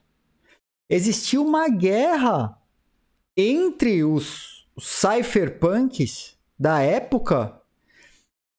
Era uma, era uma briga, obviamente, era uma briga cibernética, era uma guerra cibernética, que a gente passou por isso. Eu não sei de onde essa, essa pessoa tá vindo falando que não, nunca não sustenta essa analogia, porque aconteceu isso. E aí, graças a algumas pessoas ao redor do mundo, como o Fábio Oliva, como os malucos que curtiam usar criptografia, construir coisas com criptografia e expandir ao máximo, utilizar o open source e espalhar ao máximo o uso de criptografia. Aí sim eles abriram mão porque viram que não tinha como parar as pessoas. Mesma coisa com o open source, que quase foi controlado principalmente por causa de empresas, grandes empresas privadas, junto com o governo. Como que você tem uma coisa aberta onde as pessoas participam e determinam os rumos? É incabível para os governos e a gente passou por isso. Você poderia ser enquadrado como terrorista nos anos 90 se você estivesse utilizando criptografia como, por exemplo, 3DS. Você seria terrorista, meu amigo. E terrorista, se você for considerado terrorista para os Estados Unidos e te levarem para lá, a pena é morte em muitos estados, né? Cara, é é, assim, eu não, eu não sei, eu acho que pode ser desinformação dela, mas é uma guerra. E é uma guerra que vai acontecer entre os que vão continuar utilizando e vão expandir o uso contra, de novo, governos que vão tentar bloquear a tecnologia, porque vai, vai passar a entender, ainda não se tocou totalmente, que essa tecnologia ela tem o potencial de tirar o poder que eles têm. You know, with drugs, there is a there's a supply, there's kind of a linear supply chain. You know, crypto in its purest form is decentralized. There is no head to chop off. You know, in a sense. Whereas Fábio colocou, drugs, Secure CRT era cartels, there were proibido. kinds of bodies that were really uh, in charge. You know, so here. Who's in E era charge? meio que ferramenta oficial, né? Because there isn't necessarily anyone, quote, in charge. Nossa. When you ban it, what does that mean? You know, I also think that banning uh, use of something, it, I, I, the concern I have with that is it really affects uh, regular people. You know, it doesn't affect those who are building the systems or benefiting from them, you know, externally. And the thing that I think is really important for everyone to understand is that cryptocurrency does not have a jurisdiction. It is global by nature. So it's not governed by the laws of one country. It's not that Bitcoin is governed by the laws of the US. It's, it's not, it doesn't work that way. You know, it is truly a, a currency without a border. And in that environment, banning it in one place well, are you just denying your citizens access to parts of the digital economy that are going to be important? It's the same way I think about data silo restrictions. You know, so if, if you're only allowed to use your data in one jurisdiction, on the one hand, that protects you from exploitation by a company headquartered elsewhere. On the other hand, is it going to deny your citizens opportunities to engage in cross border uh, transactions or, or cross border opportunities that are really going to be beneficial to them and to your own economy? And so I think there's always, it's more nuanced, I think, than just trying to issue outright bans. And, and there, there often are unintended consequences that hurt the wrong people. So are they misinformed or are they acting maliciously? They talk their own book. Like uh, you know, when when you watch CNBC and you usually watch the people, the anchors and the people they interview talk their own book. They they say great thing about this company or about that product or an ETF. Here, the same thing is happening with the Fed and, and with Treasury, right? They talk their book. Their book is 100% denominated in US dollars. So anything that is not running in US dollars is in effect a, threat to that uh, uh, reserve system, right? Acabamos de ver Hillary Clinton falando sobre exatamente isso. Se alguma coisa não é o dólar, é uma ameaça ao sistema de reserva americano. So, uh, uh, Bitcoin is the best performing asset in 12 years. Uh, it's been the best performing asset against any uh, commodity and any stock, any bond, almost every year for the last 12 years. And, and the fact that it's moving so fast, uh, it's a parabolic move every time, uh, uh, is something that is not under the control of the Fed. The Fed and Treasury cannot uh, put a, a, a, chain or lock down Bitcoin, right? They have no uh, control over it whatsoever. So, so I think uh, uh, they view it as a, something that is threatening their dominance in the financial system. United States just had a change of administration. From a crypto perspective, do you uh, anticipate any major changes? There's some a lot of mumblings from Janet Yellen and others that are negative towards Bitcoin. Mm-hmm. I think that's concerning. There there may be ways to try and attack it through aggressive tax policy or other policies, but uh, you, you know overall, the administration has uh, their hands full with other things, uh, and and I don't think there's a lot of political will. It's not a Republican issue or a Democrat issue. Uh, this is something that everybody is participating in, and more and more people, celebrities and venture capitalists and regular people on the street, are participating in this, uh, Democrats and Republicans. So hopefully, it's something that doesn't become a uh, partisan political issue, and hopefully, the politicians just sort of get out of the way and let this thing do its thing because it's doing pretty well.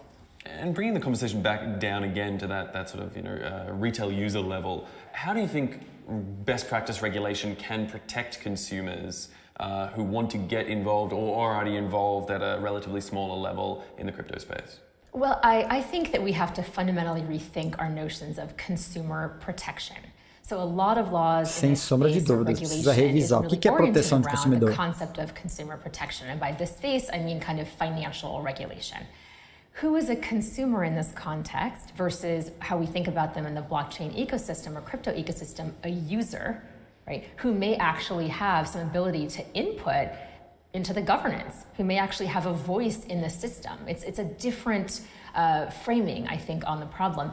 And who are we protecting them from? If you have a fully decentralized system, are you protecting the users from themselves? Uh, protecting them from you know hacks. Of course, that's critical and fraud and things like that. Uh, but not everything is about fraud or hacks or whatever else it might be. And I think that we should be thinking about regulation as a tool of empowering users, of providing necessary education, and of encouraging adoption of systems that might actually serve them better. So I think regulation can be both a sword and a shield. It can be a carrot and a stick. And it really behooves us fundamentally to think about what are our goals? What are our goals as a society? What are our goals as a government? And then more narrowly, what are the goals of a specific regulatory agency? And be more creative in the ways that we are looking to regulate this emerging space. Achei interessante isso. O único ponto de vista aqui que eu acho absolutamente utópico, porque regulador não trabalha assim, que é a regulação promover a educação e o empoderamento do consumidor. A gente só vê falando, ah, regulação é para é proteger contra a fraude, proteger o consumidor, proteger o consumidor. Eu falo meio descentralizado, como ela disse. Está protegendo o cara do quê? Dele mesmo? Precisa ser revisto. O que, que é essa relação de consumo? Precisa ser revisada. O conceito antigo não se enquadra mais. E a regulação? Regulação que não só protege de alguma maneira, sei lá, normalmente o pessoal faz caga né, na, na regulação, é besteira. Mas fazer uma regulação para conscientizar, educar e empoderar o consumidor, cara, isso é, eu acho que seria fantástico se fosse possível de ser executado, né? What people don't understand is there's something called like accredited investors that they you have to have certain thresholds before you can even invest. Uh, so I think you have to make a million dollars or be worth liquid or something. And to me, what that's always done is kind of locked out people from a market, right? So if you don't have enough money, you can't make these really early investments and get more rich, which kind of perpetuates this cycle of, of kind of, of holding people back. So would you have some insight there of like, is, is that partially why this is so interesting? Because people now can invest? Yeah. So a lot of people are, are rightly worried about wealth disparity. So just the the idea that some people have so much money and some people have so little, and that, that the distance between those groups is expanding. Um, it's a complicated topic, obviously, but it bears noting that uh, there are certain regulators, like the SEC in the US, that actually legally prevent non rich people from investing in startups. Um, so there is something called the accredited investor. And if you're raising money, if you're, if you're a startup and you're raising money, you're generally only allowed to raise that money from accredited investor. Uh, and that means someone who um, either has a net worth of over a million dollars um, or Investiu mais de 100 mil. I think it's like combined household of 250 a year or something like that. Yeah, so, so basically you need to be, have a bunch of money or be making a bunch of money in order to invest in these projects. Obviously the SEC has done this to prevent you know, normal people from getting burned, so I get that. But they've made it illegal for poor people to invest in projects. Um, I think that's disgraceful. I think anyone, any, any adult in a free society should be able to make their own economic decisions. That seems like fundamental. Todo so, um, adulto deveria you know, ter o direito e a liberdade de investir no que quiser. To get around foolish rules like that. Because no one can stop these tokens from existing. I think that's one of the best attributes of this industry is that it has allowed people to get around the arbitrary regulations of um, of politicians, and regardless of the intent of those politicians, Mas já controla Tuco. O governo já controla a educação, cara. Cada governo que entra, ele, ele, ele manipula a educação com fins ideológicos. Ele provê um mínimo de educação para manter a, a população na ignorância. E o pouco que ele educa é para a vertente ideológica dele. Ele reescreve história, tira tópicos importantes da educação porque acha que são desnecessários e por aí vai. 2017, 2018, where, like you said, there was a decent amount of garbage generated. Does did we give them like an, a free punch like first free punch to the face and like invite them to come in and regulate were they just sitting back and waiting yeah you know and certainly the sec you know to their credit went after some very scammy projects that were just literally ripping people off right and i don't have any problem with that but the, the rule should be that fraud is illegal and it already is illegal right? So if someone's defrauding other A gente já viu ele falando isso aí, né? go, go after them for that crime. But um, the SEC has basically been finding projects that it can paint the, the issuers of the tokens in a bad light, and then they'll, they'll go after them and put up a press release. And then everyone praises the SEC for you know, protecting society. What they don't see is the tremendous amount of cost and damage that these regulations do to the legitimate projects, which at minimum spend hundreds of thousands or millions of dollars on lawyers to try to navigate these rules. Many of the projects never even get going because people are unwilling to accept the risks in gray legal areas where the SEC has not been clear.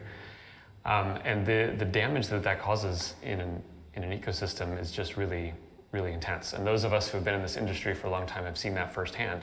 When I testified in Congress about Bitcoin, one of the things I wanted to make really clear is that Bitcoin as open source code is not regulated, just like RSA and other types of encryption are not regulated. Open source code is not regulated. So the Bitcoin protocol itself is not regulated. The Bitcoin network is not regulated in the sense that anyone can join the Bitcoin network and run the Bitcoin code and anyone can leave, right? It's not regulated. Uh, however, miners who operate in the United States of America are going to be regulated. They're going to have to incorporate, pay taxes, etc. Businesses that operate in the Bitcoin network, businesses that provide people with access to Bitcoin, cryptocurrencies, and other financial products built on top of this network are regulated. They are regulated in the jurisdictions where they operate and where they serve customers. And since 2013, the startups I've worked with and invested in, including my own, have spent millions of dollars complying with cumbersome and very unclear financial regulation. But all of these businesses in the United States are regulated. People who hold cryptocurrencies pay taxes. The IRS has dictated that Bitcoin is property, right? And cryptocurrencies are assets, and so you pay taxes on them. The FBI, FinCEN, um, and other intelligence agencies put out thousands of requests a day to cryptocurrency companies domiciled in the United States to get more information about the types of people who are using these. Um, you know, the, the banking sector, there are a bunch of new rules that have been introduced to oversee um, banking rules and sort of requirements for companies servicing the cryptocurrency space. So, again, there's this fallacious belief that cryptocurrencies are the Wild West or somehow unregulated. They're not. the compliance costs and the amount of energy and effort that goes into legal and compliance on every single thing we have done in this industry is a testament to the fact that that is simply and patently false. The number one tool used for money laundering is the US dollar, either in cash or through the US banking system. Last year alone, Olá. US banks paid Olá. over $6 billion Tá billion. Tá in fines certíssima. for their direct role in facilitating and enabling money laundering. So I think these concerns around Bitcoin, you know, are a bit overblown. Certainly there are risks. Hadouken, and we're developing Hadouken. products and tools and solutions to Cadê deal with those risks.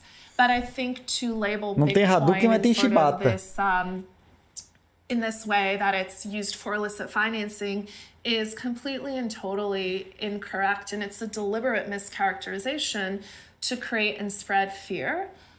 The number one tool for financial crime is our own dollar, right? And so I think when you put things into perspective and into context, certainly I think the industry is open to more regulation and to clearer regulation, but at the same time, treating Bitcoin differently than any other asset and treating institutions touching Bitcoin differently than other any other financial institution feels discriminatory at best and targeted and deliberate at worst.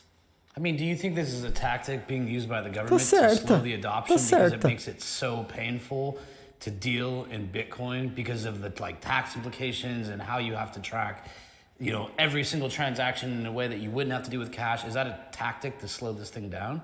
It, it sounds like a crazy conspiracy conspiracy theory to say that the, the U.S. government is intentionally slowing the adoption of Bitcoin by having the IRS say it's property, but look at the other crazy conspiracy theories in the world that turned out to be completely true, right? A, a decade ago, if you said, oh, the US government's spying on everybody's internet traffic and listening into all their phone calls and spying on everything, you would sound like a crazy conspiracy theorist. But you turned out to be exactly right. As we know, thanks to Edward Snowden and others, the government was doing all this stuff that seemed like was crazy conspiracy theories historically. So so I don't think, uh, you know, just because something is a conspiracy theory doesn't mean that it's not true.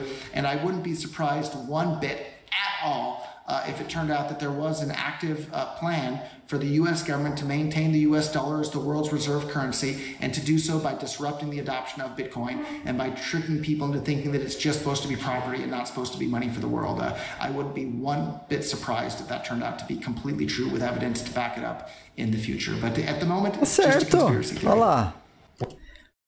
Teoria conspiratória, quando define como propriedade, não como dinheiro, por quê? O Roger Ver, um pouco de, é, aqui de background. Roger Ver é o cara que fez o fork do Bitcoin para o Bitcoin Cash, acreditando que o Bitcoin precisava ter um bloco maior, tal, então ele forcou, fez o Bitcoin Cash. Tem outras questões que eu já expliquei numa live anterior lá, que foram definidas em 2017, lá da reunião em Nova York. E por conta da Segwit e tal, já expliquei isso que eu tenho, tenho uma live que só falo, falo bastante sobre isso. Mas vamos lá. Ele, ele tem muito a visão de que o Bitcoin é cash, como está no paper, como está no cabeçalho, no título do paper, tá? E quando você denomina, ao invés de ser cash, denomina como propriedade, como um ativo, você está limitando as possibilidades. Porque o Bitcoin, ele tem diversas características. Ele pode parecer cash em um determinado momento, como ele pode parecer um ativo e propriedade em outro. O problema é o governo determinar o que é o Bitcoin, né? O Bitcoin pode ser ao mesmo tempo os dois, inclusive. Ele pode ser um ativo e um meio de pagamento e dinheiro cash. E aí como fica? E a gente não tem nenhuma regulação que, que olha para o criptoativo entendendo que o criptoativo tem diversas facetas e não apenas uma. Isso é muito ruim, concordo com o Roger Ver. Ponto para ele. Só que ele acha que é só cash. Eu acho que são várias facetas. Ele é ativo, é propriedade, mas também é cash e pode ser um ou pode ser todos ao mesmo tempo. When you're trying to build cool stuff and serve people around the world with important financial technology that you think is valuable, and some politician who has no idea who you are, has no idea what you're building, has no idea of the customers that you're trying to interact with, comes in and says, Hey, I'm here to prevent you from doing this. And oh, by the way, go spend months of time and millions of dollars to try to navigate my arcane sets of rules. Yeah, it's um it's not pleasant, and I wish more people were willing to Aqui, speak out about Porto, não faz muita diferenciação, a lot of não. É quanto você tem de dinheiro na conta ou cripto na conta no these very same fechamento do ano. Converte para euro but I feel like e é contabilizado anything valuable, I should at least be o speaking valor em euro. about what is going on. Sim, so why é isso só. I mean, I'm sure you're probably well off. You could retire. What is your motivation? My motivation for speaking controversially on some of these controversial topics is that the entire reason I got into Bitcoin in the first place was to help change the world. É isso, Barbecue. Se você considera como propriedade, você não vai comprar currency uma one that maçã como a ação da Apple. Como cash, sim. it's great to make money, but if you're not actually changing the world for the better, then there's no, Manda, eu não vou conseguir responder agora. Porto. Manda lá no, no Discord. Eu olho depois lá.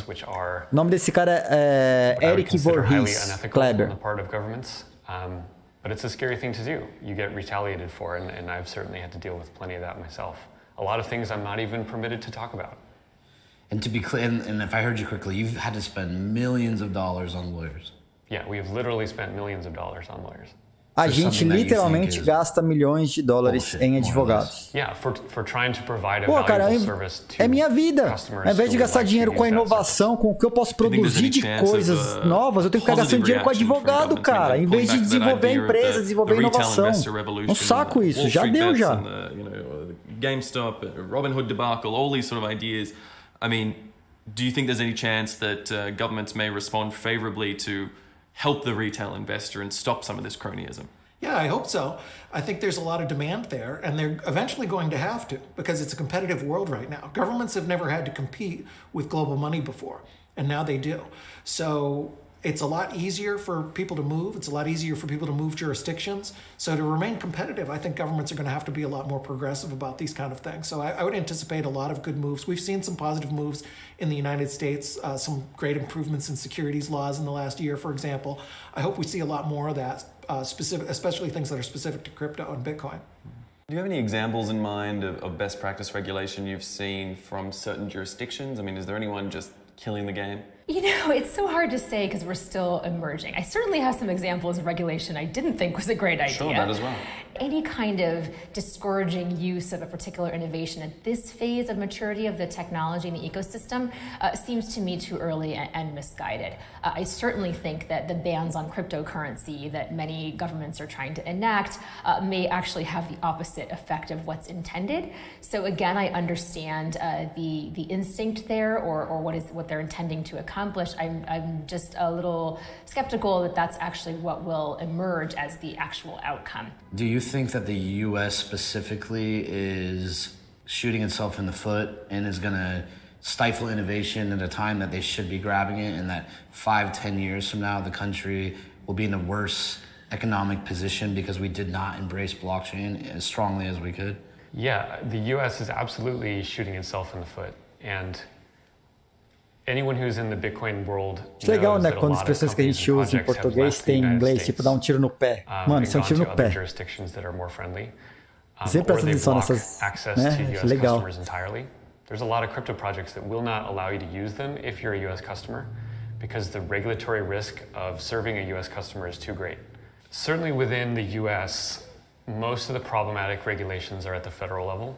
But at the state level, it's also important to take note of how these laws apply. So each state has different laws in terms of financial regulation.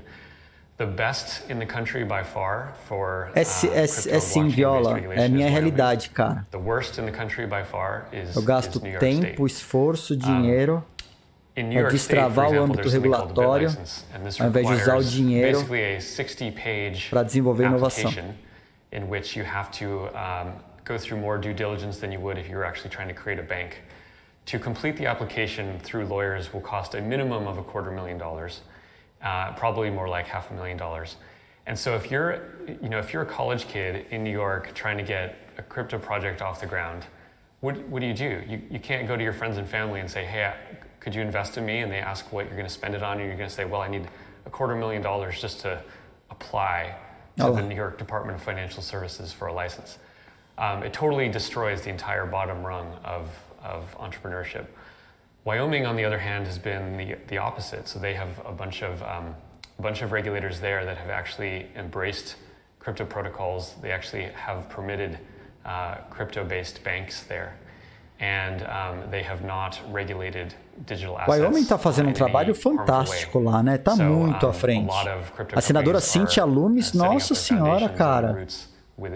Como ela luta para que a coisa continue livre lá. Two, four, eight years out, where this becomes like a, a political issue that, that people are, are, are, making their vote, or this inf is influencing people's vote on a, either a state or a national level. Yeah, I hope eventually this will become mainstream enough where people will care enough to influence the political system. Um, I do not have a lot of faith in the political system, and so I'm not I'm not waiting for that, nor is the crypto industry. Não, Babeque, não é só carimbo de autenticação do cartório, cara. Wherever it needs to build não é só, é, é, também. And it's really on various não countries é to decide if they want to be part of a financial revolution or if they want to be left behind.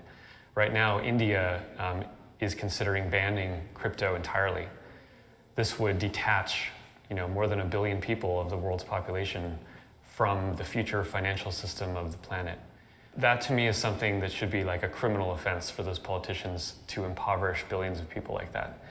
And that will play out over a decade or two, and in hindsight will be so obvious. Uh, and I hope that the people that make those horrible rules will be held accountable. Yeah, I mean, it's, it's like if people see Bitcoin triple again and, and they realize they can't buy it in their country, so they're essentially, right, at that point, maybe have an opportunity cost, right, and they're staring at it in the face, they might stand up and right try to vote in different people they're literally being locked out of profit right and it, it will be that easy to visualize Nato 41, obrigado, cara. Obrigado pelos seis feel meses. that their government is Valeu not regulating Prime. cryptocurrency well enough in competing with the rest of the world that they start to kind of this becomes a, a political hot hot topic. So how the law changes is when people lose money or make money. Uh, I'm firmly convinced of that. No matter uh, how optimistic you are that hope and change can do things, it doesn't work. James Carville said it's the economy stupid, It's right? the economy stupid, right? So uh, Valeu. no newspaper in the world. Não said importa, internet was não a importa good thing. chegar. They just had to adapt Tamo junto. because they lost their monopolies. They lost their business model. And the ones who were clever, like the New York Times, they changed. And the ones who weren't clever, like the Rocky Mountain News, they went out of business. The internet was a tsunami wave and it fundamentally changed the way business was done. Well, analogously, uh, new technology changes the economic order. And when the economic order changes, then regulation, law, polit- politics, all of that changes with it. You could never get a Trump without a Facebook. And you could never.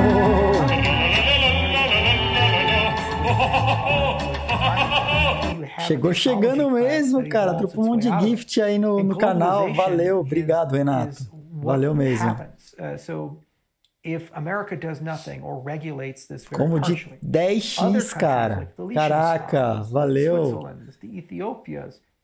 Legal. Desbloqueou o trololó, cara. So they can him and haw, complain about it, or they can realize that in 10 years their business model's done and welcome to poverty land. The country goes to hell. Or they have to embrace it. And embracing it means that they have to adopt the standards of the incumbent. There's a reason why the United States controls all the web standards and all those things came from the US because we were the first adopter and the first mover, and the rest of the world didn't have time to build their own internet. They didn't have time to build their own domain name registrar and do things differently or create their own TCP/IP. We just moved too quickly, and they had an option: either ignore it or embrace it. If you ignore it, you get isolated and cut off, and you don't get Google, you don't get Microsoft, you don't get these companies. And if you embrace it, you don't get to embrace it on equal terms. You get to embrace it accepting the standards that have been given to you. So if America ignores this, the standards will be set in Africa or Eastern Europe or Southeast Asia. And then in 10 years or 20 years, we'll have to acquiesce. Europa And at that Oriental é aqui onde eu whatever those are, that's our standard now. And political change then comes. Mas tem a Rússia também. Mas, mas the people tá who are falando da making Rússia. decisions are informed by their experience and their background and a world that is very different from the world we live in today. And what I worry about is we're not spending capital on important technology infrastructure. We're not spending capital on semiconductor and chip fabrication, which should be happening in the United States. We're not spending money securing IT and compute supply chains. We're not spending money on cybersecurity infrastructure. We're not spending money on any of the things that actually matter long term. If it's a fight, what tactics É will, fato, fatão, né? be used? Eu gosto And dela, really, ela é who- who is- diretaça, who is né? they? I Ela mean, só is no it government? Is it also institutional banking? Uh, They is mostly governments and central banks, and they can include large financial institutions and other banks. Um, large financial institutions can always embrace Bitcoin eventually. Governments and, and central banks cannot. Uh, it is antithetical to how they work. So um, I think most of the large financial institutions, while they will be skeptical or hesitant, they will end up participating in Bitcoin. Central banks will not, cannot, shall not, and they will fight it every way that they, every way that they can. The main tactic that they will use is to try to vilify the people that are involved with it. Um, they will say things like Bitcoin is only used for terrorist financing, and uh, you don't actually need privacy. And if you want privacy, that means you must have something to hide. Um, they will use those kind of scare tactics to keep the public from embracing a system which actually empowers the public. Hopefully, the public will see Isso que ele está falando, o governo continua fazendo desde os anos 90. E Isso, isso é só uma continuidade. Eles botavam medo nas pessoas sobre o uso da criptografia, que a criptografia era só utilizada no mundo underground por criminosos. E que por isso, se você era um cidadão de bem, você não tinha nada a temer, você não tinha o que esconder. Cara, essa falácia absurda, ela vem sendo empurrada goela abaixo desde os anos 90. embora tenha descriminalizado o uso de alguns algoritmos de criptografia e não somos mais criminosos por utilizar criptografia, o governo tem uma narrativa que ele empurra esse tipo de coisa para a população para tornar o acesso, que a população seja, tipo, tenha medo, não queira se relacionar a uma tecnologia que só criminoso usa. Imagina, vou usar uma coisa que é criptografada, o que, que vão pensar de mim? Que, que vão pensar de mim se eu estou utilizando uma criptomoeda que não deixa rastro no uso? Porque é só criminoso que usa. É, a gente falou disso aqui já hoje, Cadorim. O dólar é o mais usado para terrorismo, guerra, contrabando, crimes em geral. E não só o dólar cash, mas o uso das instituições financeiras estabelecidas dos Estados Unidos, fazendo isso o tempo todo. Só que enquanto é para eles, eles fazem vista grossa. Quando é para a população, a população não pode, né? Imagina. Through that over time, but I don't know. So I think uh, it, it, you know it's up to us, all of us, the crypto community, to convince enough uh, others, enough people to come and join us because of store value, because of the ability to earn yield, because the ability to take uh, a low cost loans, uh, uh, which kind of negate the predatory practices that most banks are, are, are using against their own customers. That I think most politicians, when they look at what these services provide, yes, there's some bad examples, but the vast majority of what's happening in crypto, what's happening in DeFi, is positive and is creating. É por isso que eu tô na Estônia, Viola. Think, uh, por isso que eu fui expulso do meu próprio país, cara. You think, and you think as those more people get in, as that mass, critical mass builds, we're insulating uh, crypto markets against potential regulation? It certainly helps. I mean, you, you, a politician trying to regulate Bitcoin now is is affecting uh, you know over 50 million Americans who have have crypto exposure. So you get to a point where it's like, are you really representing the people or are you representing the cronies and the banks? Because uh, the people want Bitcoin, the people like Bitcoin, and people should have a right to buy whatever they want. Is there a chance that the government is going to regulate uh, Bitcoin out of existence? There's a small chance, but I don't think that that will ever happen. I mean, after all, the government is supposed to be acting in our best interest, and if enough of us are uh, supporting this and thinking that this is a an idea or, or a system that acts in our own best interest, then the government has to allow us to continue uh, and use these type of services or uh, financial opportunity. Pois é, legal esse também, né?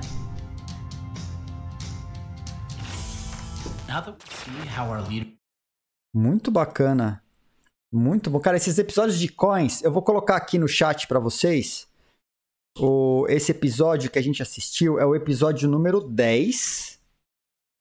Deixa eu só tirar os metadados. Não, tá na lista aí. Bom, vou, vou colocar do jeito que tá aqui. Que eu peguei no. Então, essa lista aí é do episódio. Episódio 9. Desculpa. É o episódio 9 de Coins. Que fala de governos e regulação. Tá? O próximo episódio é o é Bitcoin e DeFi. Então, semana que vem, a gente vai ver o relacionamento do Bitcoin e do DeFi. Já vou dar um spoiler aqui, nem assisti. Bitcoin é o primeiro DeFi. Bitcoin é o primeiro smart contract. Embora tenham sequestrado os termos e os usos tentando desvincular, lembra que tudo partiu a partir tudo partiu a partir de horrível, né? Tudo começou com o Bitcoin. Bitcoin teve os primeiros smart contracts. Bitcoin é o primeiro DeFi. Tá, mas usurparam. Usurparam, estão tentando falar que é deles, mas a gente sabe que não é. A gente aqui sabe, né? A gente sabe quem começou essa onda. Bom, galera, chegamos então aos finalmente. Quem conseguiu ficar até o final, teremos o sorteio neste momento dos 1128 sats do Morning Crypto 128 bits que você acompanhou hoje nessa sexta-feira, dia 26 de novembro. Lembrando que no episódio 130 teremos 10 mil sats, não serão mil e poucos, serão 10 mil sats, tá? 10 mil sats. São os últimos segundos para que vocês possam pegar os seus tickets. Quem será hoje? Se for sorte Fábio de novo, eu já vou apertar o botão na sequência. Desculpa, Fábio. Eu já te peço desculpas, tá? Se isso vier a acontecer. Mas tenha certeza que se sorte Fábio acontecer hoje de novo, vai ter o botão sortear outro. No mesmo segundo. Eu não vou nem ficar prestando muita atenção, não. Né? Não vai, vai ser direto, mano. Vai ser, mas vai ser na, numa tacada só. Tá? Depois eu falo. Ah, é. Se for, a, a Miriam já falou aqui que se for sorteado vai ganhar um ban. Tá? Se for sorteado vai ganhar um ban. O, ontem, ontem, é que você não tava aqui ontem, Viola. Ontem teve drop de NFT, cara. Esse sorteio tinha que ser DeFi, né?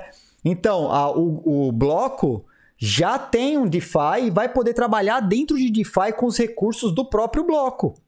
Isso é muito bacana. A gente vai poder participar de DeFi com os recursos gerenciados, inclusive os ganhos auferidos no DeFi, diretamente para o próprio fundo que já é gerenciado pela comunidade, tá? É um DeFi gerenciado por uma DAO.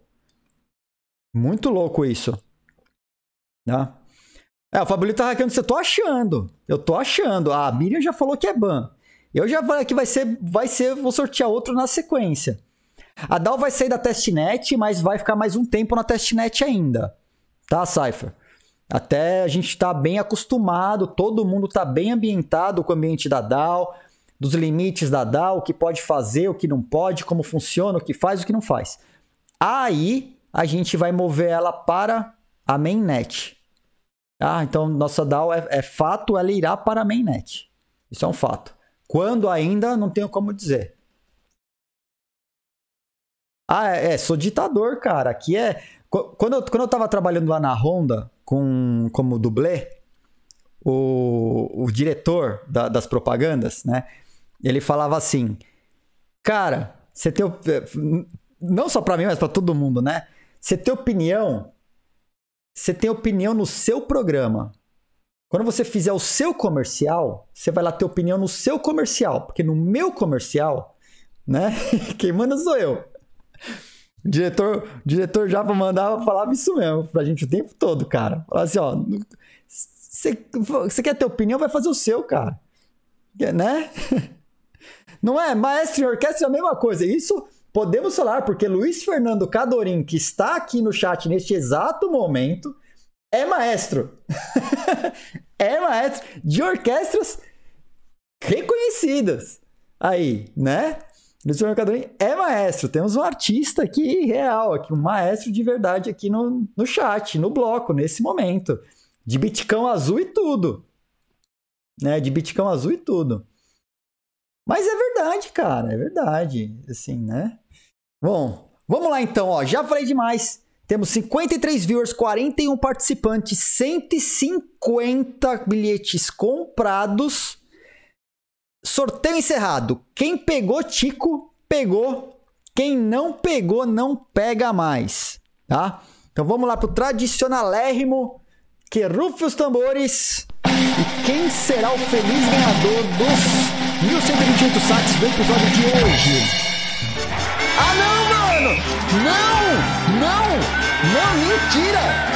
Pô, Léo Lima também, vou sortear outro. Desculpa, Léo Lima. Renato 41.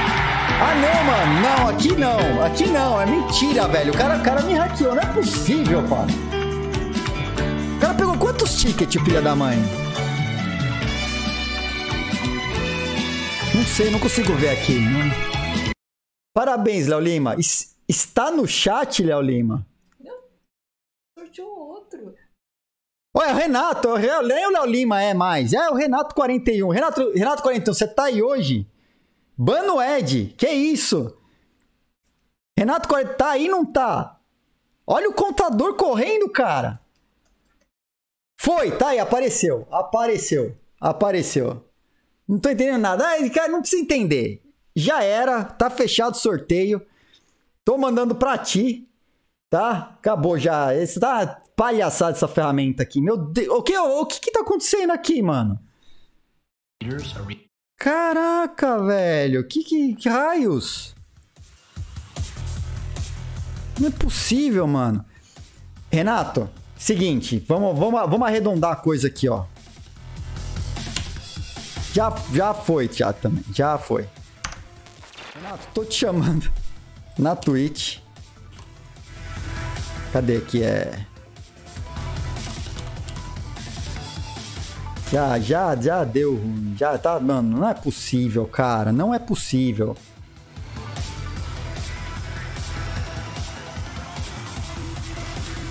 Ó, já. Tá que palhaçada. Tá aqui, ó.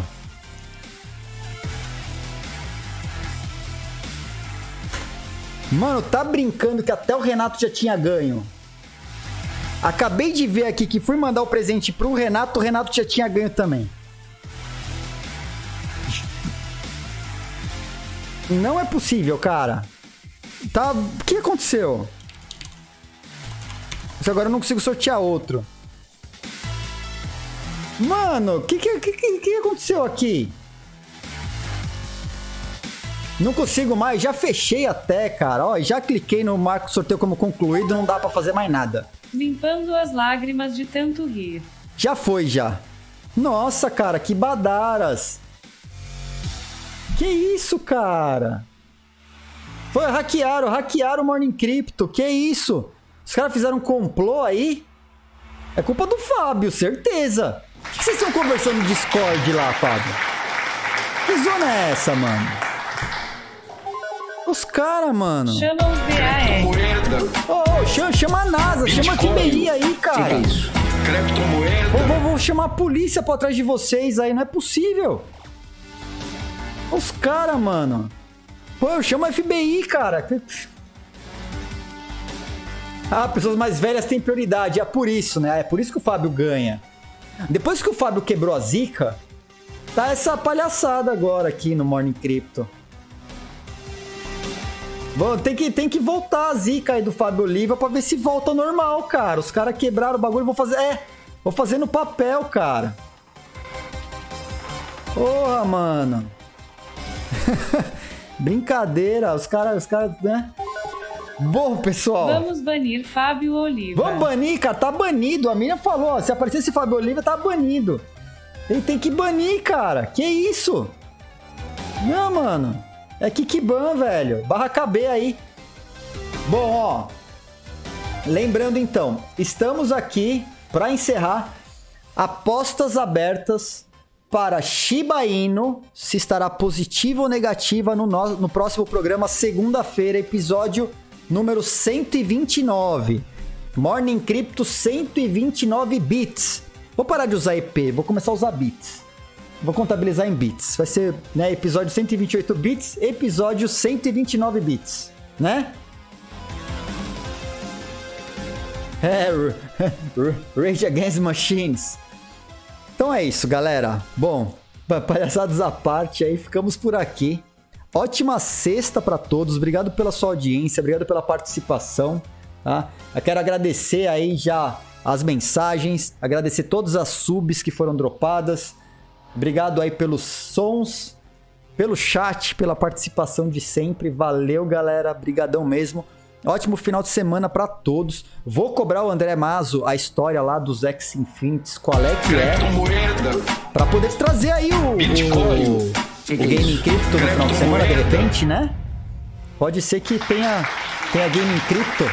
Vamos ver. André Mazo, André Mazo, vou te caçar no final de semana, cara. Vamos ver qual é essa aí do, da plataforma de teste. Vamos fazer Game em Crypto no final de semana se der certo, tá?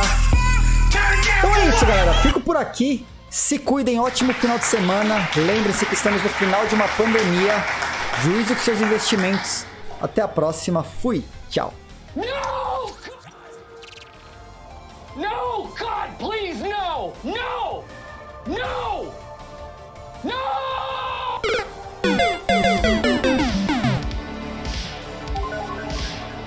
Galopeira.